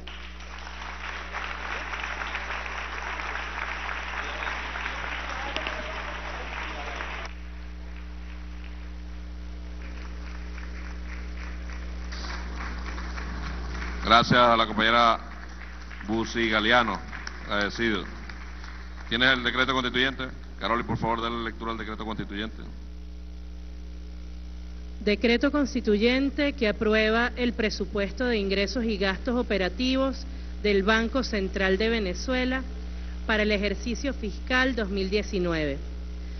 La Asamblea Nacional Constituyente, en ejercicio de las facultades previstas en los artículos 347, 348 y 349 de la Constitución de la República Bolivariana de Venezuela, conforme el mandato otorgado el 30 de julio de 2017 en elecciones democráticas, libres, universales, directas y secretas por el pueblo venezolano como depositario del poder originario, considerando que la Asamblea Nacional Constituyente cumple el mandato del pueblo soberano para hacer realidad los valores supremos de la República Bolivariana de Venezuela de paz, libertad, igualdad, soberanía, solidaridad, integridad territorial, bien común y preeminencia de los derechos humanos,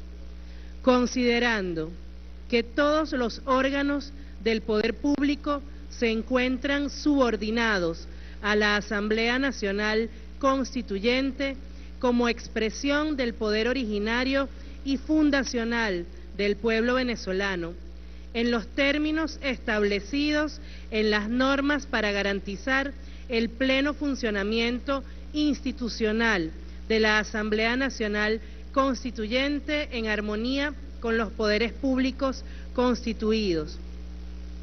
Considerando que en fecha 6 de noviembre de 2018, el presidente del Banco Central de Venezuela presentó ante este poder constituyente originario el presupuesto de ingresos y gastos operativos del Banco Central de Venezuela para el ejercicio fiscal 2019, considerando que el referido presupuesto de ingresos y gastos operativos procura cumplir con los objetivos del Banco Central de Venezuela en cuanto a formular instrumentos de política macroeconómica, en particular de política monetaria y cambiaria, articular con los órganos del Estado a efectos de propiciar condiciones para la coherencia de las acciones en la política económica, fortalecer las reservas internacionales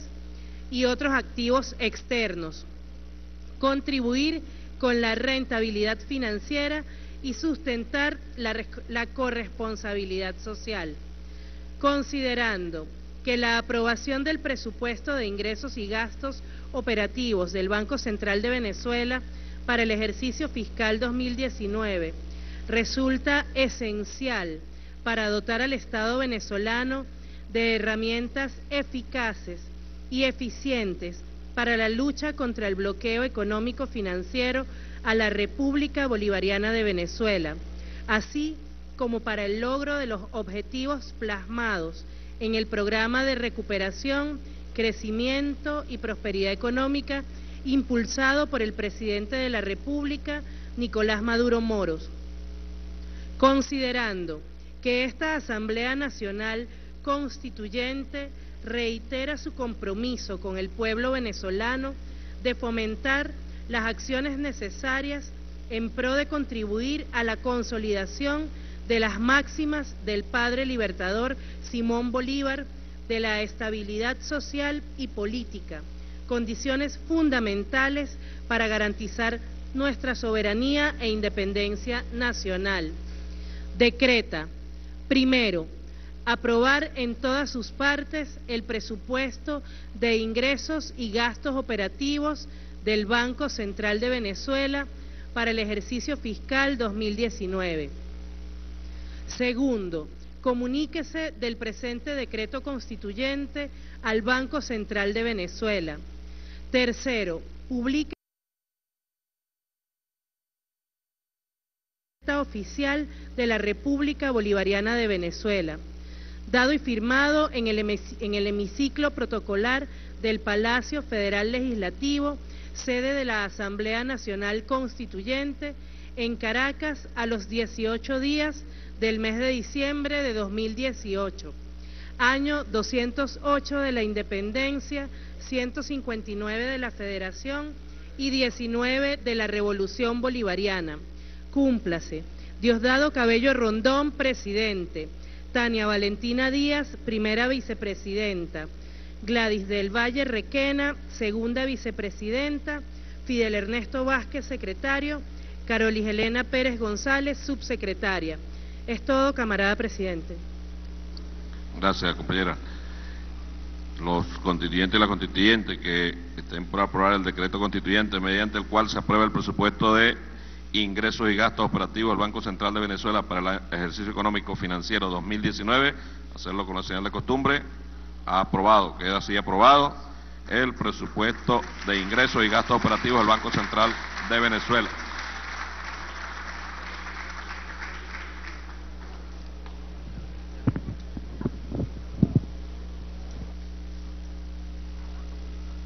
Ah,